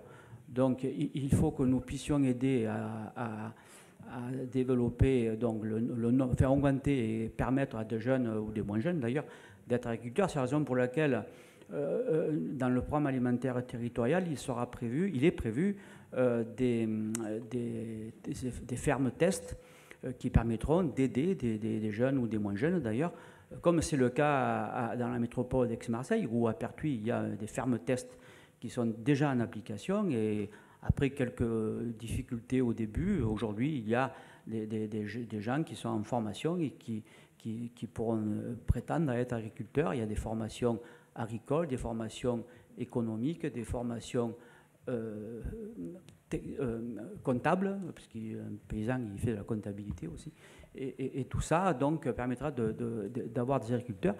Et il faut des débouchés. C'est la raison pour laquelle nous préconisons que nos cuisines centrales travaillent ensemble et qu'enfin, il y ait des industries agroalimentaires qui permettent de travailler les produits de nos agriculteurs, justement. Hein, Je vous rappelle que dans notre territoire, il fut une époque heureuse où il y avait beaucoup d'industries agroalimentaires, par exemple les transformations de tomates, aller à, à où il y avait des, deux usines, des usines importantes de production de colis de tomates qui étaient, et quand on lisait les boîtes de conserve, on voyait produites par des paysans vauclusiens. Bon, c'est plus le cas aujourd'hui, malheureusement, mais c'est ce que nous essayons, euh, à notre modeste niveau, de faire. Et effectivement, euh, dans les secteurs de nos, de nos communes et les études en cours viseront à, sanctuariser des terrains, des zones à vocation agricole. Pourquoi les sanctuariser? Parce que les pressions urbaines qui se développent parfois en limite de zones agricoles font que ben, certains agriculteurs euh, préféreraient qu'elles soient vendues à- à construire plutôt que de continuer à faire l'agriculteur. Donc c'est ce que nous, voulons empêcher, permettre de sécuriser au travers des zones agricoles protégées que nous allons développer dans nos territoires et autour de la zone du plan. Il est fort possible, ce n'est pas encore une décision parce que les études ne sont pas terminées, mais il est fort possible que ça puisse aboutir à, à être des zones agricoles protégées. Donc, il n'y a pas d'antinomie à avoir entre une zone économique qui a vocation à développer de l'activité agroalimentaire avec des activités agricoles, parce que ça va ensemble. S'il n'y a pas les débouchés euh, d'agriculteurs que nous voulons installer, eh bien, il n'y aura pas de, de capacité à ces agriculteurs de vivre de leur production. Et, et voilà un peu rapidement dit Monsieur- quelques éléments pour Monsieur le les questions que vous avez posées. Monsieur le Président, s'il vous plaît. Moi, je voudrais, Monsieur le Président. Là. Monsieur le Président, je voudrais. Moi, je voudrais juste rappeler à Madame Rosenblatt, euh, je ne veux pas être euh, désagréable avec elle, mais nous avons échangé pas mal de soirées sur ce sujet. Je crois qu'aujourd'hui, le sujet n'est pas de, refaire l'historique de la ZAC du plan. Euh, on a assez passé de temps depuis le début du mandat sur ce sujet-là, il me semble, et ce que vient d'énumérer M. Moreau, c'est du répétitif, puisque bien sûr, il l'avait déjà expliqué, réexpliqué. Moi, je voudrais juste faire une petite intervention sur cette délibération. En effet, il y a une concertation qui a été, qui a été réalisée. Moi, je voudrais juste dire qu'en effet, elle s'est réalisée de manière, peut-être pour vous, Monsieur le Président, euh, de façon correcte. Moi, je vous dirais non. Je suis élu local et en effet, voie de presse, voie d'affichage, euh, mise à disposition, mise en ligne, euh, et j'en passe et j'en passe, tout ça, on l'a un peu euh, vu rapidement. Quand on est élu, on peut en effet avoir l'information. Quand on ne l'est pas, on ne peut pas avoir l'information. Je pense que ces informations-là, elles sont, mal diffusées auprès de nos concitoyens pour qu'ils puissent, qu'ils puissent y participer. Aujourd'hui, huit participants, euh, c'est juste hallucinant pour un projet comme ça sur notre territoire. Euh, ensuite, bien sûr, euh, les, défenseurs de la ZAC du plan, bon, moi je ne reviens pas là-dessus, hein, j'ai voté pour les 27 hectares et je ne reviendrai pas là-dessus. Je, veux juste te dire que les choses, il faut, qu'elles soient justes. Aujourd'hui, ils disent qu'ils ont, qu'ils ont, voté, qu'ils ont voté contre. Donc aujourd'hui, la délibération que l'on va voter, ben, à leurs yeux, n'est pas du tout conforme. Moi, je les crois. Euh, je voudrais juste rappeler une chose. euh, je pense qu'il faut arrêter de mépriser ces, collectifs. Je voudrais juste rappeler une chose à M. Armangol. Ce, ce week-end, je crois qu'il a eu besoin de tous ces collectifs autour de lui pour se battre contre euh, des hectares de terre qui vont être construites dans sa commune. Et je pense qu'il faut arrêter de mépriser ces gens qui se battent un peu au quotidien. Alors, bien sûr que parfois, ils ont des combats houleux, mais je crois qu'aujourd'hui, on en a besoin dans nos communes de gens qui se battent euh, pour l'intérêt général et, et uniquement pour l'intérêt général et pour le territoire. Si vous permettez, juste un petit mot avant, avant le Président. Euh, Ce matin, il y avait une euh, réunion de concertation sur la révision du PLU à Entraigue. Nous avons distribué 4000 lettres dans les boîtes aux lettres. 4000. Nous avons Monsieur, si- Moreau, vous avez vu à quelle heure vous la faites, la réunion, Monsieur Moreau si vous permettez. Monsieur Moreau, si Monsieur les gens travaillent, Monsieur Moreau. Si vous permettez, donc, nous avons distribué 4000 lettres euh, dans, dans les boîtes à lettres pour des réunions qui ont lieu dans la journée et également le soir dans la semaine.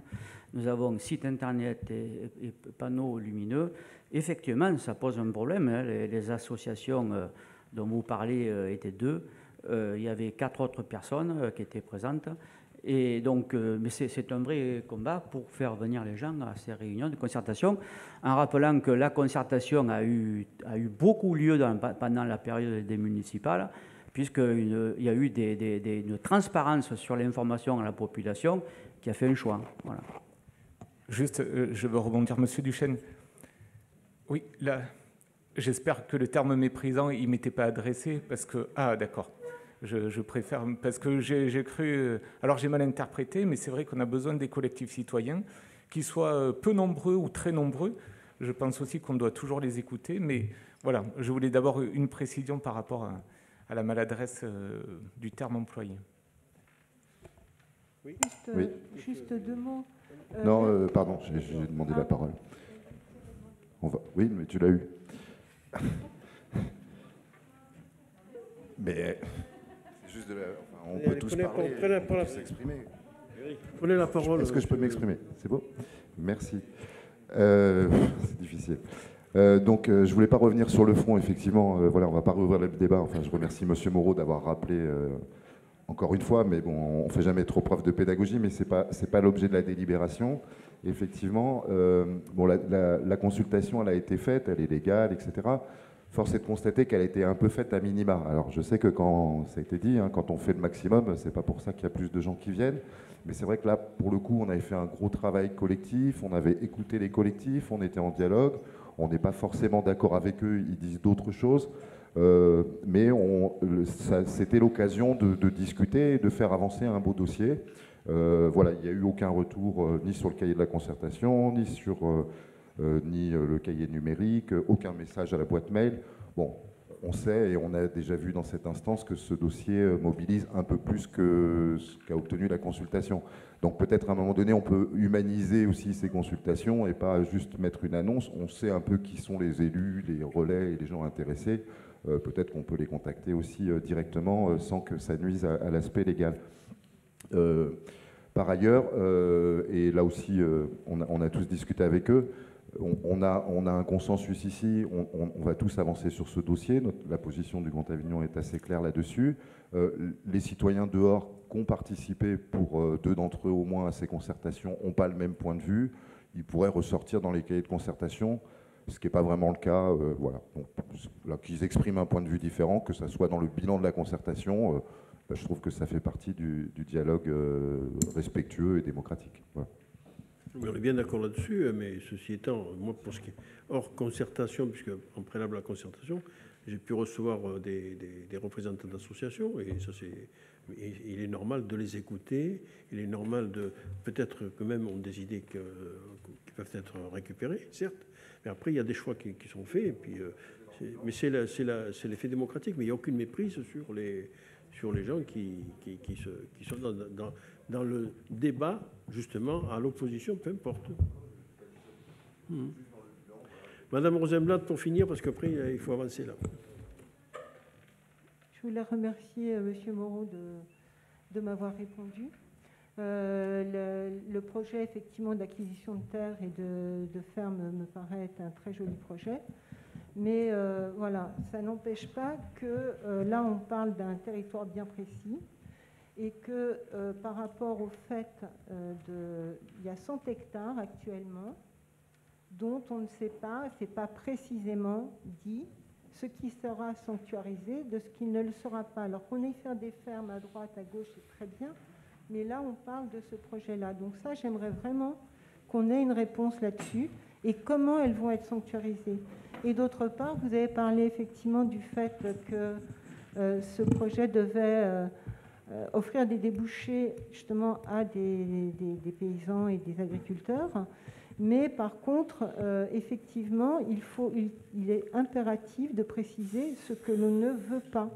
Parce que à partir du moment où dans le projet, vous mettez qu'il n'y a pas une taille précise des parcelles et qu'à un moment donné, elles peuvent fusionner et s'agrandir, euh, ou alors j'ai pas bien compris, mais euh, si c'est le cas, euh, ça, ça, ce serait bien de le borner. Voilà, merci. Madame euh, Rosenblatt, la loin. délibération de ce soir, c'est pour enclencher la, formalité administrative de la déclaration d'utilité publique sur la compatibilité du PLU avec la commune, de la commune d'Entraigues. À partir de là, vous aurez des informations dans la mise en compatibilité avec le, PLU d'Entraigues, de, porter des observations très certainement. Comme la- le Grand Avignon aura un avis à émettre sur euh, toute, euh, toute modification du PLU. Voilà, donc euh, c'est pas le sujet de ce soir, mais par contre, oui, oui, vous pouvez rester vigilante et apporter vos observations dans le futur. Donc, je mets aux voix.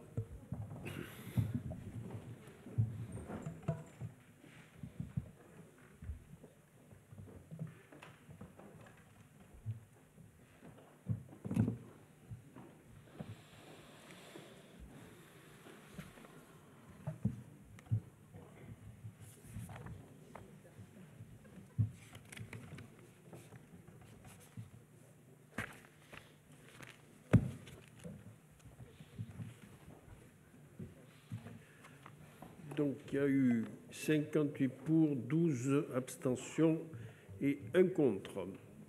La, la délibération est adoptée.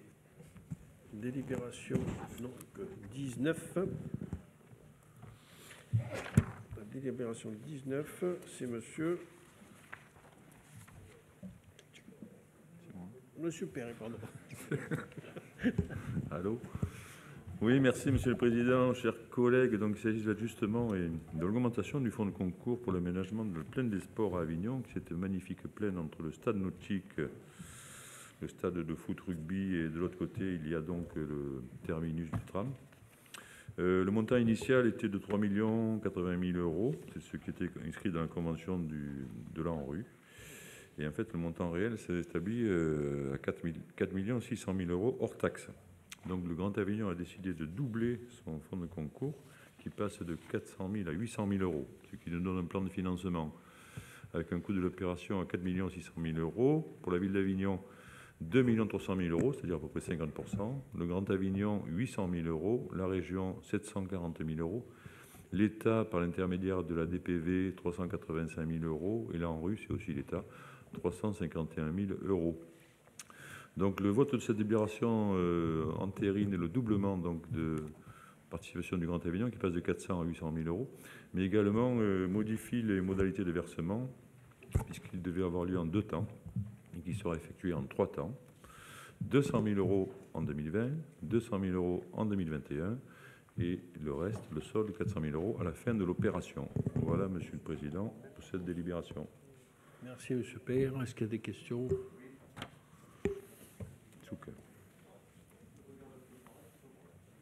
Monsieur. Merci. Monsieur le Président, chers collègues, je pense que nombre de nos collègues élus ici présents ont été surpris de la lecture de ce rapport. Il nous est en effet demandé de porter notre fonds de concours à 800 000, soit le multiplier par deux, plus 50% au passage. Reconnaissez que ce n'est pas un ajustement, mais plutôt un doublement. On s'étonne également que le Grand Avignon abonde de 400 000 euros supplémentaires quand la ville d'Avignon n'avance qu'une petite rallonge de 20 000 euros par rapport à ce que prévoyait la délibération d'octobre 2020.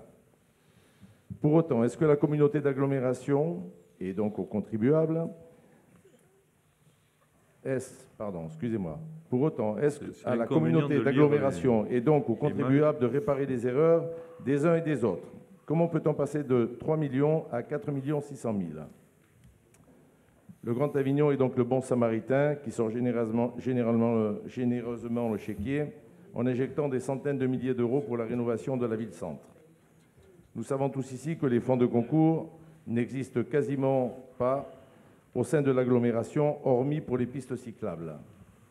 Or là, avec 800 000 euros, notre collectivité serait le deuxième financeur de l'opération devant la région et même devant l'État. Avouez qu'il y a de quoi être interloqué. Monsieur le Président, naturellement, nous sommes favorables à ce projet sur le fond.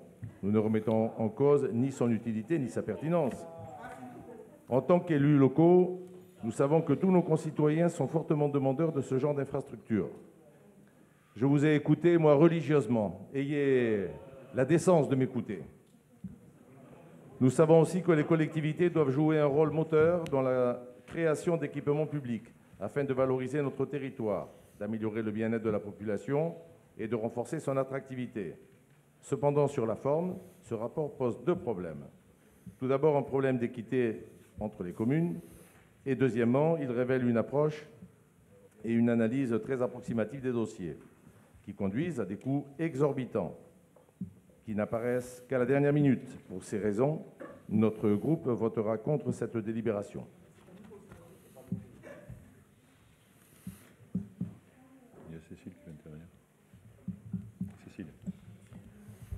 Madame la maire d'Avignon, Cécile L. Oui, je voudrais peut-être euh, juste euh, donner des éléments euh, de contexte à notre collègue qui visiblement ne les maîtrise pas. Lui rappeler que c'est le Grand Avignon qui est en charge du pilotage de la rénovation urbaine et du programme de rénovation urbaine. Ça, c'est la loi qui le dit, que ce sont des programmes qui sont copilotés par l'État et les communautés d'agglomération.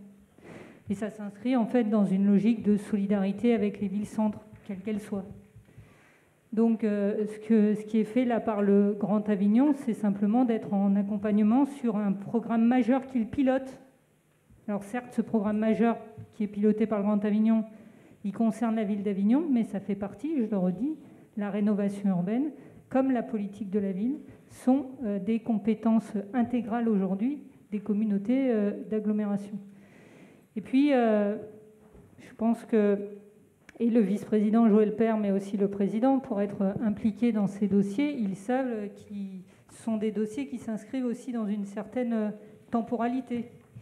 Et qu'il y a un temps entre le moment où le projet urbain est adopté et fait l'objet d'une convention, et cette convention, elle a été euh, euh, signée par l'ensemble des partenaires de ce programme de rénovation il y a maintenant trois ou quatre ans, et que c'est à ce moment-là que les projets sont définis, mais entre le moment où ils sont euh, simplement euh, des lignes écrites, transformation euh, de terrains sportifs en pleine des sports, et le moment où le projet se concrétise, ben, effectivement, parfois on était sur une épure financière qui, quand on passe à la réalité du projet, ben, il faut pouvoir l'adapter. Et donc, c'est simplement ça qui est en train de se passer. En tout cas, moi, et je le fais publiquement, je remercie le président Guin de cette solidarité qu'il témoigne avec la ville d'Avignon, avec l'ensemble des vice-présidents, évidemment, qui l'accompagnent dans l'exécutif aujourd'hui. C'était l'un des premiers dossiers que j'ai évoqué avec le président suite à son élection en lui disant je pense qu'il faut que significativement le Grand Avignon accompagne la ville sur des projets un peu emblématiques de cette rénovation urbaine et sachant qu'en plus l'agglomération gagnera aussi en lisibilité, visibilité vis-à-vis des habitants qui sont les premiers concernés par ce type d'aménagement. Donc voilà, moi je souhaitais juste dire ça. Il y aura d'autres délibres qui viendront sûrement en débat au sein de ce conseil communautaire pour l'ensemble des habitants des quartiers concernant par le projet de, de rénovation urbaine, qui sont certes des Avignonnais, mais qui sont aussi des habitants du Grand Avignon, comme le sont les Moriérois et comme les sont les Villeneuvois. Pas plus, mais pas moins non plus. D'accord. Moi, je voudrais rajouter simplement que, comme le disait Madame la maire d'Avignon, c'est sûr que c'est le Grand Avignon qui pilote ce projet-là. C'est sûr que la temporalité, quand même, a des conséquences. Mais aussi, je vous demande de, regarder à l'échelon national, toutes les EPCI accompagnent les, ce genre de projet. Et je ne crois pas qu'on fasse des fleurs particulières à Avignon. D'accord? On essaye d'être le plus juste possible et selon nos moyens. Et puis peut-être que, euh, M. Sou, vous n'êtes pas sans ignorer que aujourd'hui les difficultés font que il y a d'énormes difficultés, qu'il y a des augmentations très sérieuses, puisque nous, nous sommes confrontés, nous, à des reports de, des demandes de report d'intervention, de, parce que, oui, il y a les budgets qui explosent. Donc peut-être que oui, il y aura peut-être des rallonges encore à faire, je ne sais pas. Mais toujours est-il qu'aujourd'hui, il nous appartient d'accompagner ce, ce, cette augmentation de, de, du NPNRU. Voilà.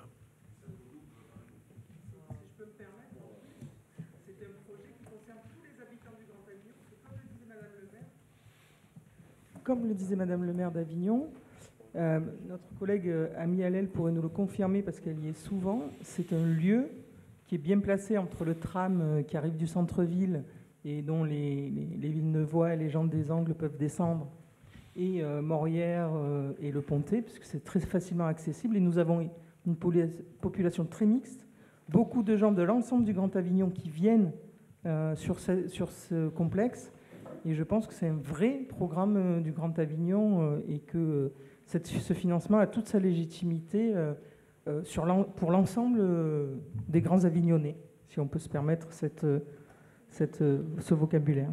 Voilà. Très bien. Donc on va passer au vote si vous le voulez bien.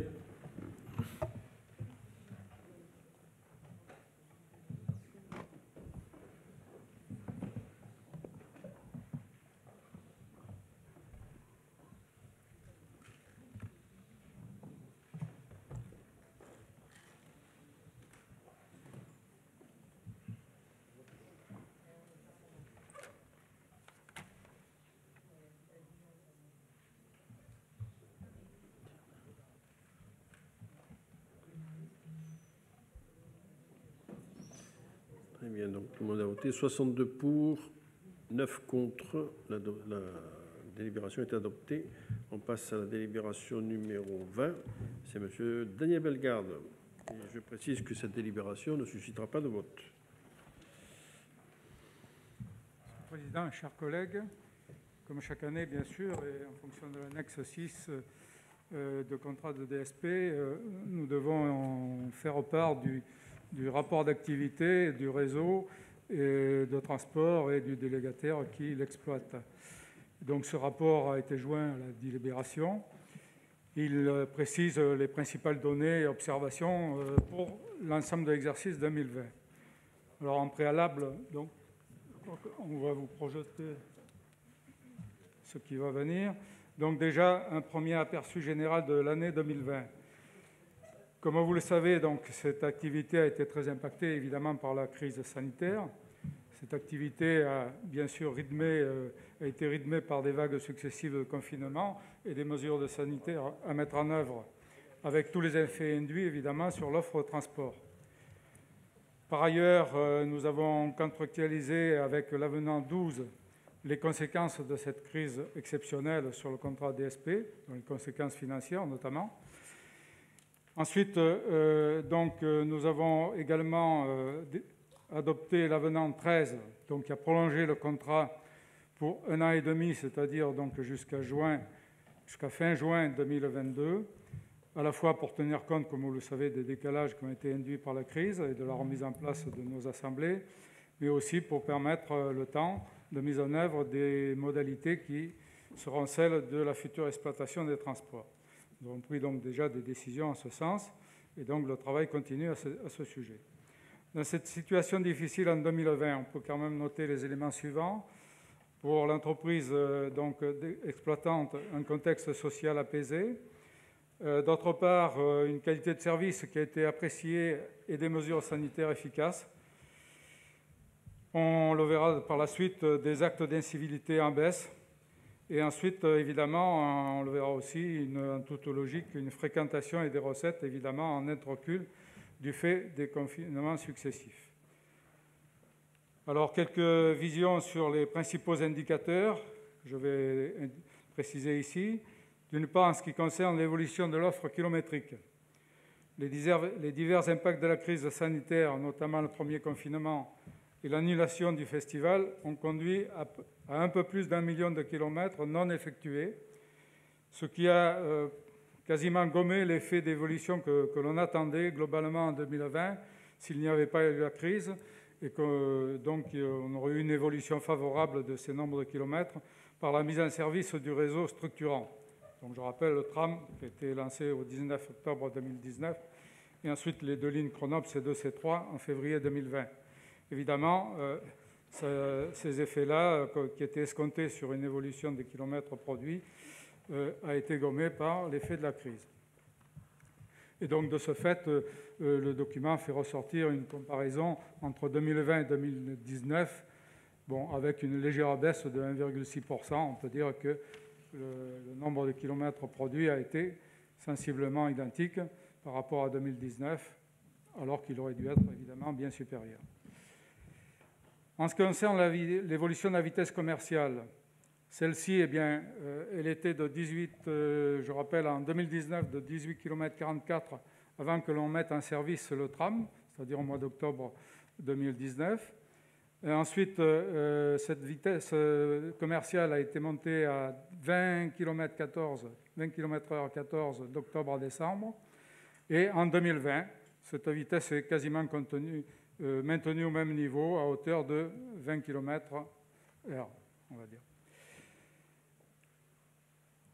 En ce qui concerne la fréquentation, donc c'est évidemment un point important et très incident avec la, crise. De nombreux facteurs, évidemment, y ont contribué.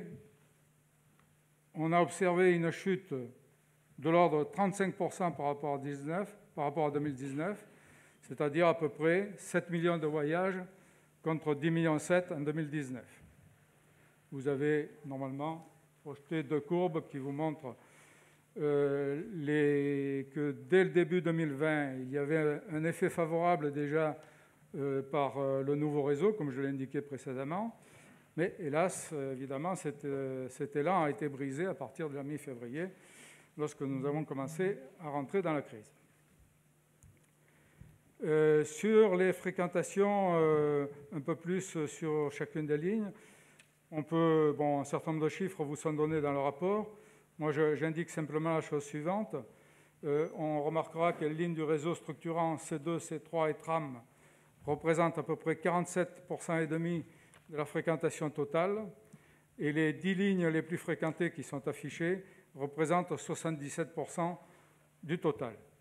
Voilà à peu près. Donc ça vous montre évidemment l'importance euh, du réseau structurant, d'une part, et d'autre part d'un certain nombre de lignes, évidemment, qui sont en site euh, euh, plus urbanisés et qui fonctionnent évidemment avec des fréquentation beaucoup plus importante que les lignes euh, lointaines. En ce qui concerne l'évolution des recettes, donc on observe là aussi un fort impact, bon, qui a été à peu près de moins 28,7% par rapport à 2019, avec un montant global de 3 877 764 euros, alors qu'en temps normal, nous sommes environ, aux environs de 5,5 millions d'euros. Sur les principaux titres, on peut observer euh, quelques éléments typiques, si vous voulez, si je peux dire, sur ces ventes. On constate plus 2,9% sur les abonnements annuels, qui s'explique, comme vous le voyez sur la projection, principalement par plus 4,6% du pass jeune. Donc il y a eu une forte évolution sur ce pass jeune. Ensuite, par contre, les passes mensuelles euh, sont en, chute avec euh, moins 37,9%. Et enfin, sur les, autres titres importants dans, nos recettes, ce sont les titres occasionnels, c'est-à-dire les tickets en voyage et les carnets d'e-tickets. En ce qui concerne les tickets en voyage, on observe une, baisse de 26,6%. Bon, euh, pour le total de ces titres occasionnels, et on voit que essentiellement cette baisse est provoquée par la baisse des ventes de tickets un voyage qui accuse 27,8%. Voilà à peu près l'évolution de nos ventes et qui ont conduit aux recettes que j'ai indiquées tout à l'heure. Ensuite, sur le fonctionnement du réseau, euh, je voulais donner quelques éléments sur le bilan, euh, un bilan sur la fraude. Euh, ce contrôle de fraude, je rappelle qu'il est exercé, ou je précise en tout cas qu'il est exercé par une équipe de 16 vérificateurs placés sous la responsabilité d'un chef d'équipe. Le taux de contrôle sur le réseau, donc en 2020, hors les dessertes gratuites, a été de 4,26% contre 2,97% en 2019. Donc il y a un accroissement du taux de contrôle, et notamment euh, avec l'effet du tram. Le taux de fraude constaté, c'est-à-dire le nombre de procès-verbaux sur le nombre de contrôles réalisés, est de 1,41%, plus élevé qu'en 2019, euh, qui, avait affiché un taux de 0,4%. Alors là aussi, c'est l'effet tram, puisque vous savez que bien, sûr, par le tram, euh, on a une montée par, les portes centrales et les portes arrière, euh, contrairement au bus où on accède par les portes avant. Et donc, cet effet de, de fraude peut être disons, perturbé et en tout cas en augmentation compte tenu de ce mode d'accès aux véhicules.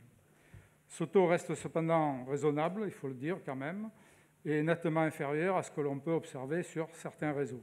Alors certes, peut-être certains réseaux qui ont des infrastructures évidemment aussi euh, également plus développées que celles que nous avons.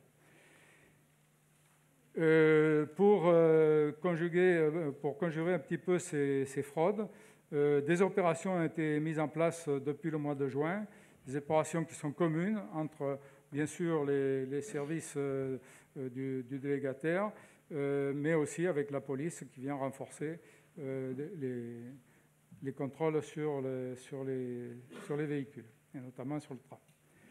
Voilà, donc il y a un travail très important qui est fait à ce sujet, et je crois qu'on peut féliciter notamment la police nationale qui, participent beaucoup aux côtés des agents TCRA pour qu'il euh, y ait une, bonne tranquillité à la fois et aussi euh, une vérification sur ces fraudes qui, permettent d'en limiter l'impact.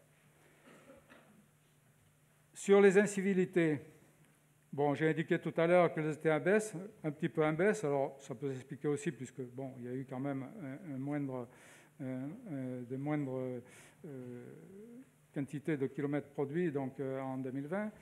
On peut noter, si vous voulez, 53 incidents envers les agents TCRA en 2020, en gros par semaine en moyenne, on va dire. Mais ces incidents euh, sont essentiellement de type des insultes, des vols, des menaces. Pour l'instant, on dénote pas d'agression physique, en tout cas en, 2020. Et ces agressions ont fait l'objet de 25 dépôts de plaintes. En ce qui concerne l'atteinte aux biens, il a été recensé 48 incidents. euh, donc essentiellement des jets de projectiles sur les véhicules, qui ont notamment entraîné des bruits de vitres sur 18 de ces véhicules. En ce qui concerne l'exploitation des vélos pop, évidemment, là aussi, la crise a, la crise a impacté. on a un nombre de locations qui a chuté globalement de 12,5% sur l'année 2020 par rapport à 2014. Et bien sûr, comme le montre la projection, les courbes montrent que cette chute résulte principalement de l'absence du festival et de l'effet du premier confinement. Sinon, sur les autres mois, on a des choses qui sont comparables. Euh, je rappelle d'ailleurs que ce service Vélopop, euh, nous avions euh, augmenté sa capacité avant, en 2019 en ajoutant 10 stations supplémentaires et en ajoutant 100 vélos de plus, qui était passé de 200 à 300 vélos. Concernant, pour terminer, quelques résultats financiers de cette année 2020, la contribution financière de référence, donc c'est celle qui est indexée et qui, fait, qui faisait l'objet de l'avenant numéro 11 dans le contrat de délégation, était fixée pour 2020 à 32 197 246 euros. Alors ce montant a été en fait impacté, vous en avez un peu plus de détails dans la projection, dans les documents. Ce montant a été impacté par un ensemble d'éléments qui sont intervenus au cours de l'exercice, mais principalement, c'est l'avenant 12 qui, crée la, différence, puisque cet avenant 12 euh, est d'un montant, de, enfin le solde global en faveur du Grand Avignon est un montant de 1 440 876 euros, donc qui crée pratiquement une chute de la contribution financière à 30 808 272 euros. Donc on est passé de 32 à 30 millions 800. Ensuite, en ce qui concerne le résultat d'exploitation du délégataire, celui-ci s'est élevé à 429 559 euros. Donc c'est un, un, montant qui est 1,2% du produit d'exploitation, si on le compare à la contribution financière, c'est 1,4%. Voilà, et on peut aussi constater que ce résultat été en baisse par rapport à celui de 2019 de moins 16%. Voilà à peu près les grands éléments qui, figurent sur l'activité de, cette année 2020 pour notre réseau de transport. Alors bien sûr, vous avez tous les détails après qui ont été fixés dans le, dans le rapport et qui a été présenté également, je le rappelle, en commission de mobilité le 14 septembre. Voilà, Monsieur le Président. Merci Daniel. Donc euh, sur ce rapport, il n'y a pas de vote. Euh, simplement, on en prend acte. Euh, il y a la délibération numéro 21 qui concerne Monsieur Jacques Demas. Et là, c'est rapport annuel concernant les déchets ménagers assimilés. Donc, ces rapports ont fait l'objet d'une commission de plan durable et ont été présentés à la commission consultative des services publics locaux. Donc, euh, concernant les indicateurs techniques, l'évolution des tonnages des ordures ménagères résiduelles par rapport à 2019 est stable. Par contre, une évolution des tonnages multimatériaux, nous avons plus 11% par rapport à 2019.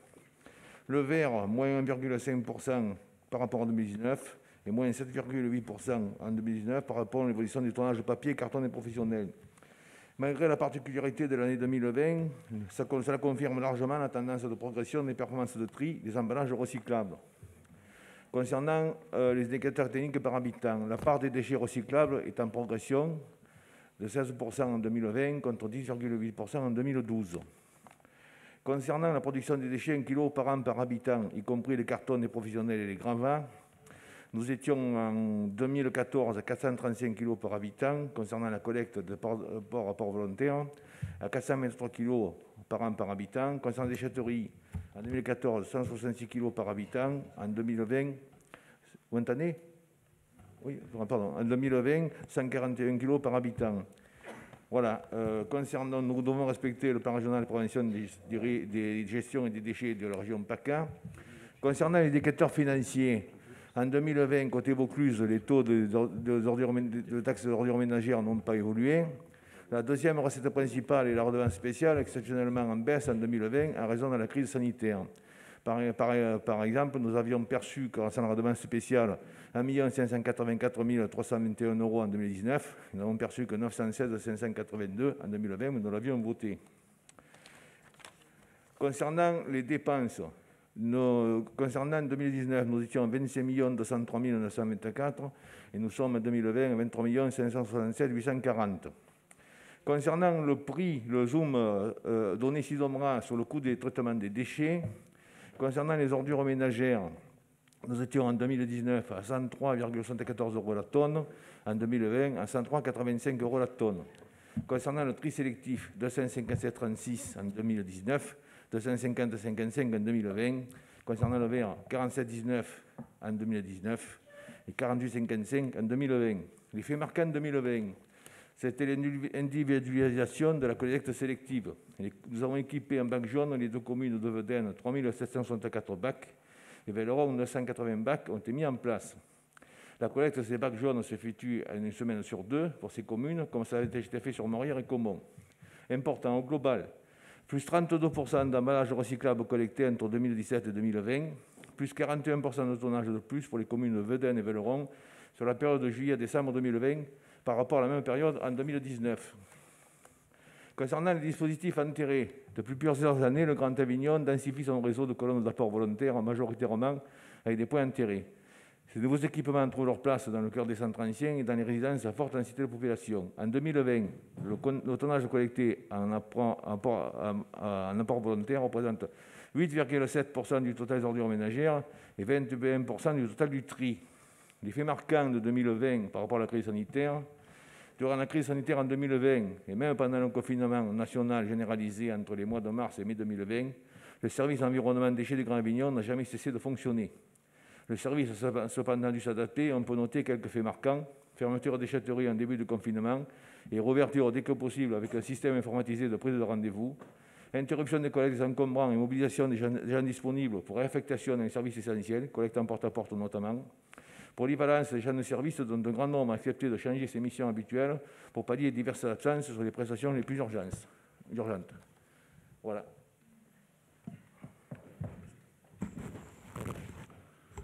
Merci, M. Demans. Donc, le président dû s'absenter. Il n'y a pas de vote sur cette euh, délibération. Et la suivante concerne le rapport annuel 2020 sur le prix et la qualité des services publics de l'eau. Et c'est M. Sandevoir qui nous le présente.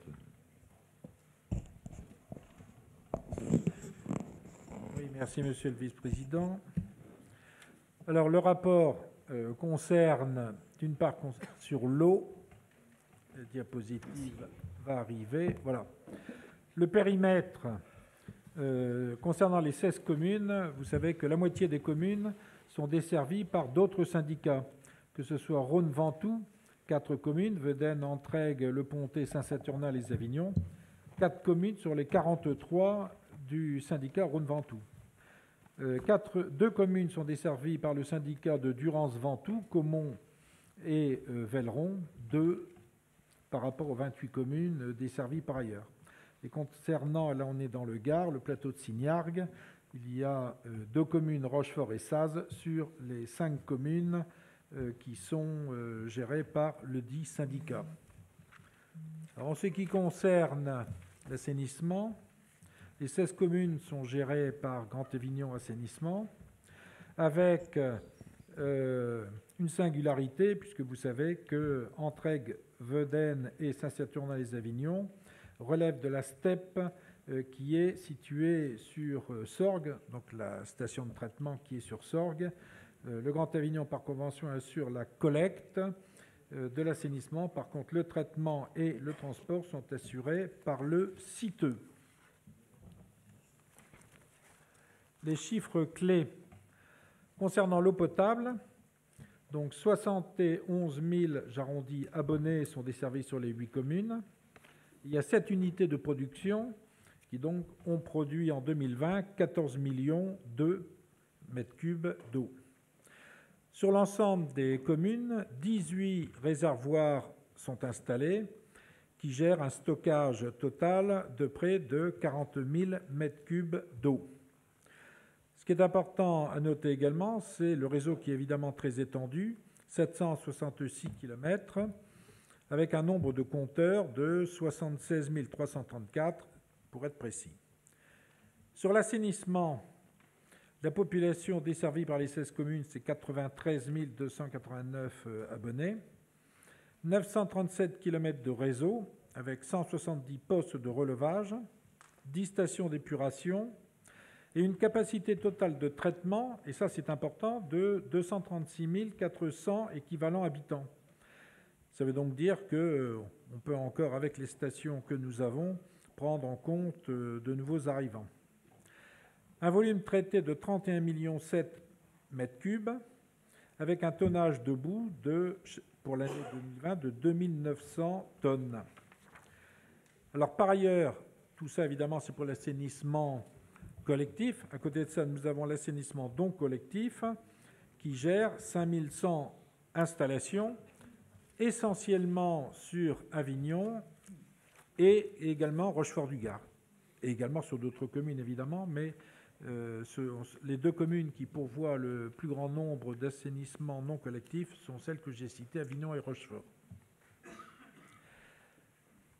Alors, concernant le rendement, vous avez là des barres. La bleue est celle du rendement euh, 2020 et la verte, c'est l'objectif de Grenelle. Alors vous voyez que euh, sur l'ensemble des communes, on est à peu près euh, au niveau qui convient, avec sur euh, un rendement qui est des plus satisfaisants à 85% contre 68% pour l'objectif. Par contre, et c'est très clair que nous avons à travailler sur Morière, où le rendement était de 62,30% en 2020, alors que euh, l'objectif est de 69,63%. Donc nous avons mis en place un plan d'action avec euh, Veolia, euh, avec Veolia, pardon, avec Grand Avignon Eau pour pouvoir diagnostiquer les raisons de, de ces écarts et y apporter les, solutions adaptées.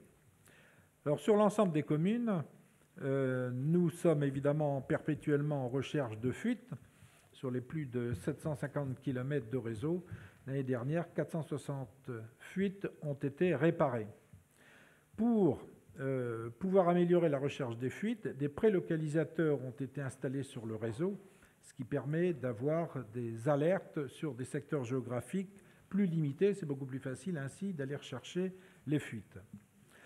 Nous avons eu un programme également 2020 de renouvellement, euh, de travaux de renouvellement. 4 km 2 de canalisation ont été euh, renouvelés. Et il est important chaque année de maintenir un investissement important pour le renouvellement de ces canalisations. En 2020, quels sont les faits marquants? Alors, d'une part, le contrat d'agglomération Agence de l'eau Rhône-Méditerranée-Corse, programme 2020-2022, qui lui se poursuit, qui va bientôt arriver à échéance, et nous sommes en train de travailler avec l'Agence de l'eau pour son renouvellement.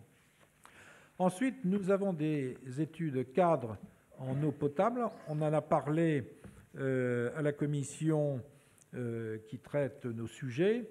Alors, qu'est-ce que c'est que les études cadres en eau potable? C'est travailler sur la protection de la ressource, qui est évidemment important, les études sur les champs captants, sur les interconnexions avec euh, d'autres euh, syndicats. Alors, par ailleurs, nous avons la mise en place des euh, schémas directeurs pour l'eau et l'assainissement. on devait les achever à la fin de cette année-ci.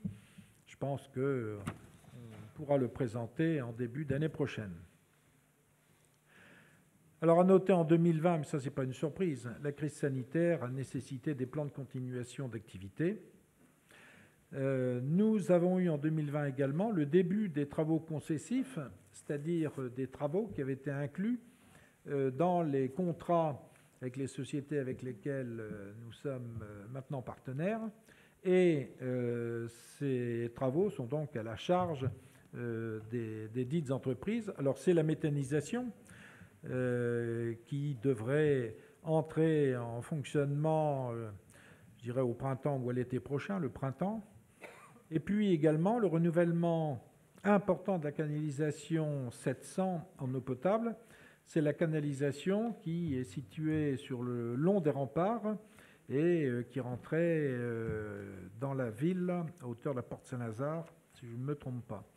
Euh, c'était une, une, réalisation importante puisque c'était un kilomètre de canalisation qui ont été changés. Bon, pour ceux qui empruntent cette route, vous avez vu, c'était pendant le confinement du printemps de cette année, les embarras de circulation, mais enfin, il y a des moments où on ne peut pas faire autrement. Alors, en ce qui concerne les investissements du Grand Avignon, pour le potable, nous avons passé 70 commandes pour un budget de 3,5 millions d'euros. Et pour l'assainissement collectif, c'est 220 commandes qui ont été passées pour un budget de 7,5 millions d'euros. Merci, Monsieur le Président. Merci, Patrick. Donc euh, nous passons, il n'y a pas de vote, hein, comme l'avait précisé M. Père. Donc euh, nous passons à la délibération 23, M. Philippe Endervedine, sur le tourisme, modification de liste de membres du conseil d'exploitation. Merci Monsieur le Président, chers collègues. modification de la liste des membres du conseil d'exploitation de l'Office du tourisme. Par délibération en date du 12 décembre 2016, le conseil communautaire a créé l'Office de tourisme communautaire du Grand Avignon régie dotée de la seule autonomie financière sous forme de service public administratif SPA. L'Office de tourisme est administré sous l'autorité du président de la communauté d'agglomération du Grand Avignon par un conseil d'exploitation composé de 15 membres titulaires et 7 membres suppléants. Le conseil d'exploitation est désigné par délibération du conseil communautaire sur proposition du président de la communauté d'agglomération pour faire suite à la démission du 26 mai 2021 d'un membre titulaire dans le collège des représentants des professionnels et activités touristiques pour des raisons professionnelles, M. Quentin Carissimo Bertola, représentant des monuments de Villeneuve-les-Avignon, il convient de désigner un nouveau membre titulaire dans ce même collège et dans le respect des statuts. Après l'avis favorable du conseil d'exploitation du 7 juin 2021 et sur proposition de son président, il est proposé de désigner Madame Marie Binet de l'abbaye de Saint-André de Villeneuve-les-Avignon en remplacement de M. Quentin Carissimo Berthelin. Il vous est proposé d'approuver cette délibération et d'inviter Madame Marie Binet au conseil d'exploitation. Merci. Merci Philippe. Personne n'est favorable au vote à bulletin secret. Donc on passe au vote s'il vous le bien.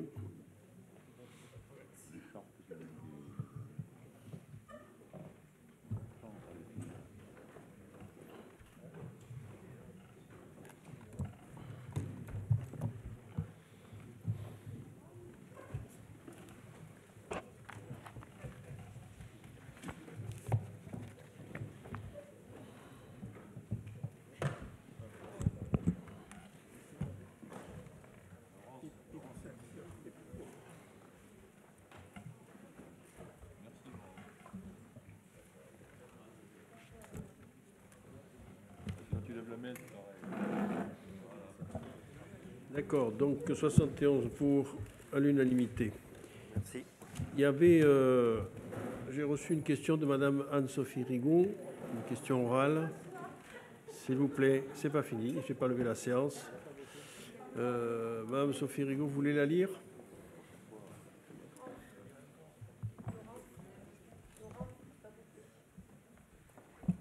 Oui, Monsieur le Président. Monsieur le Président, mes chers collègues.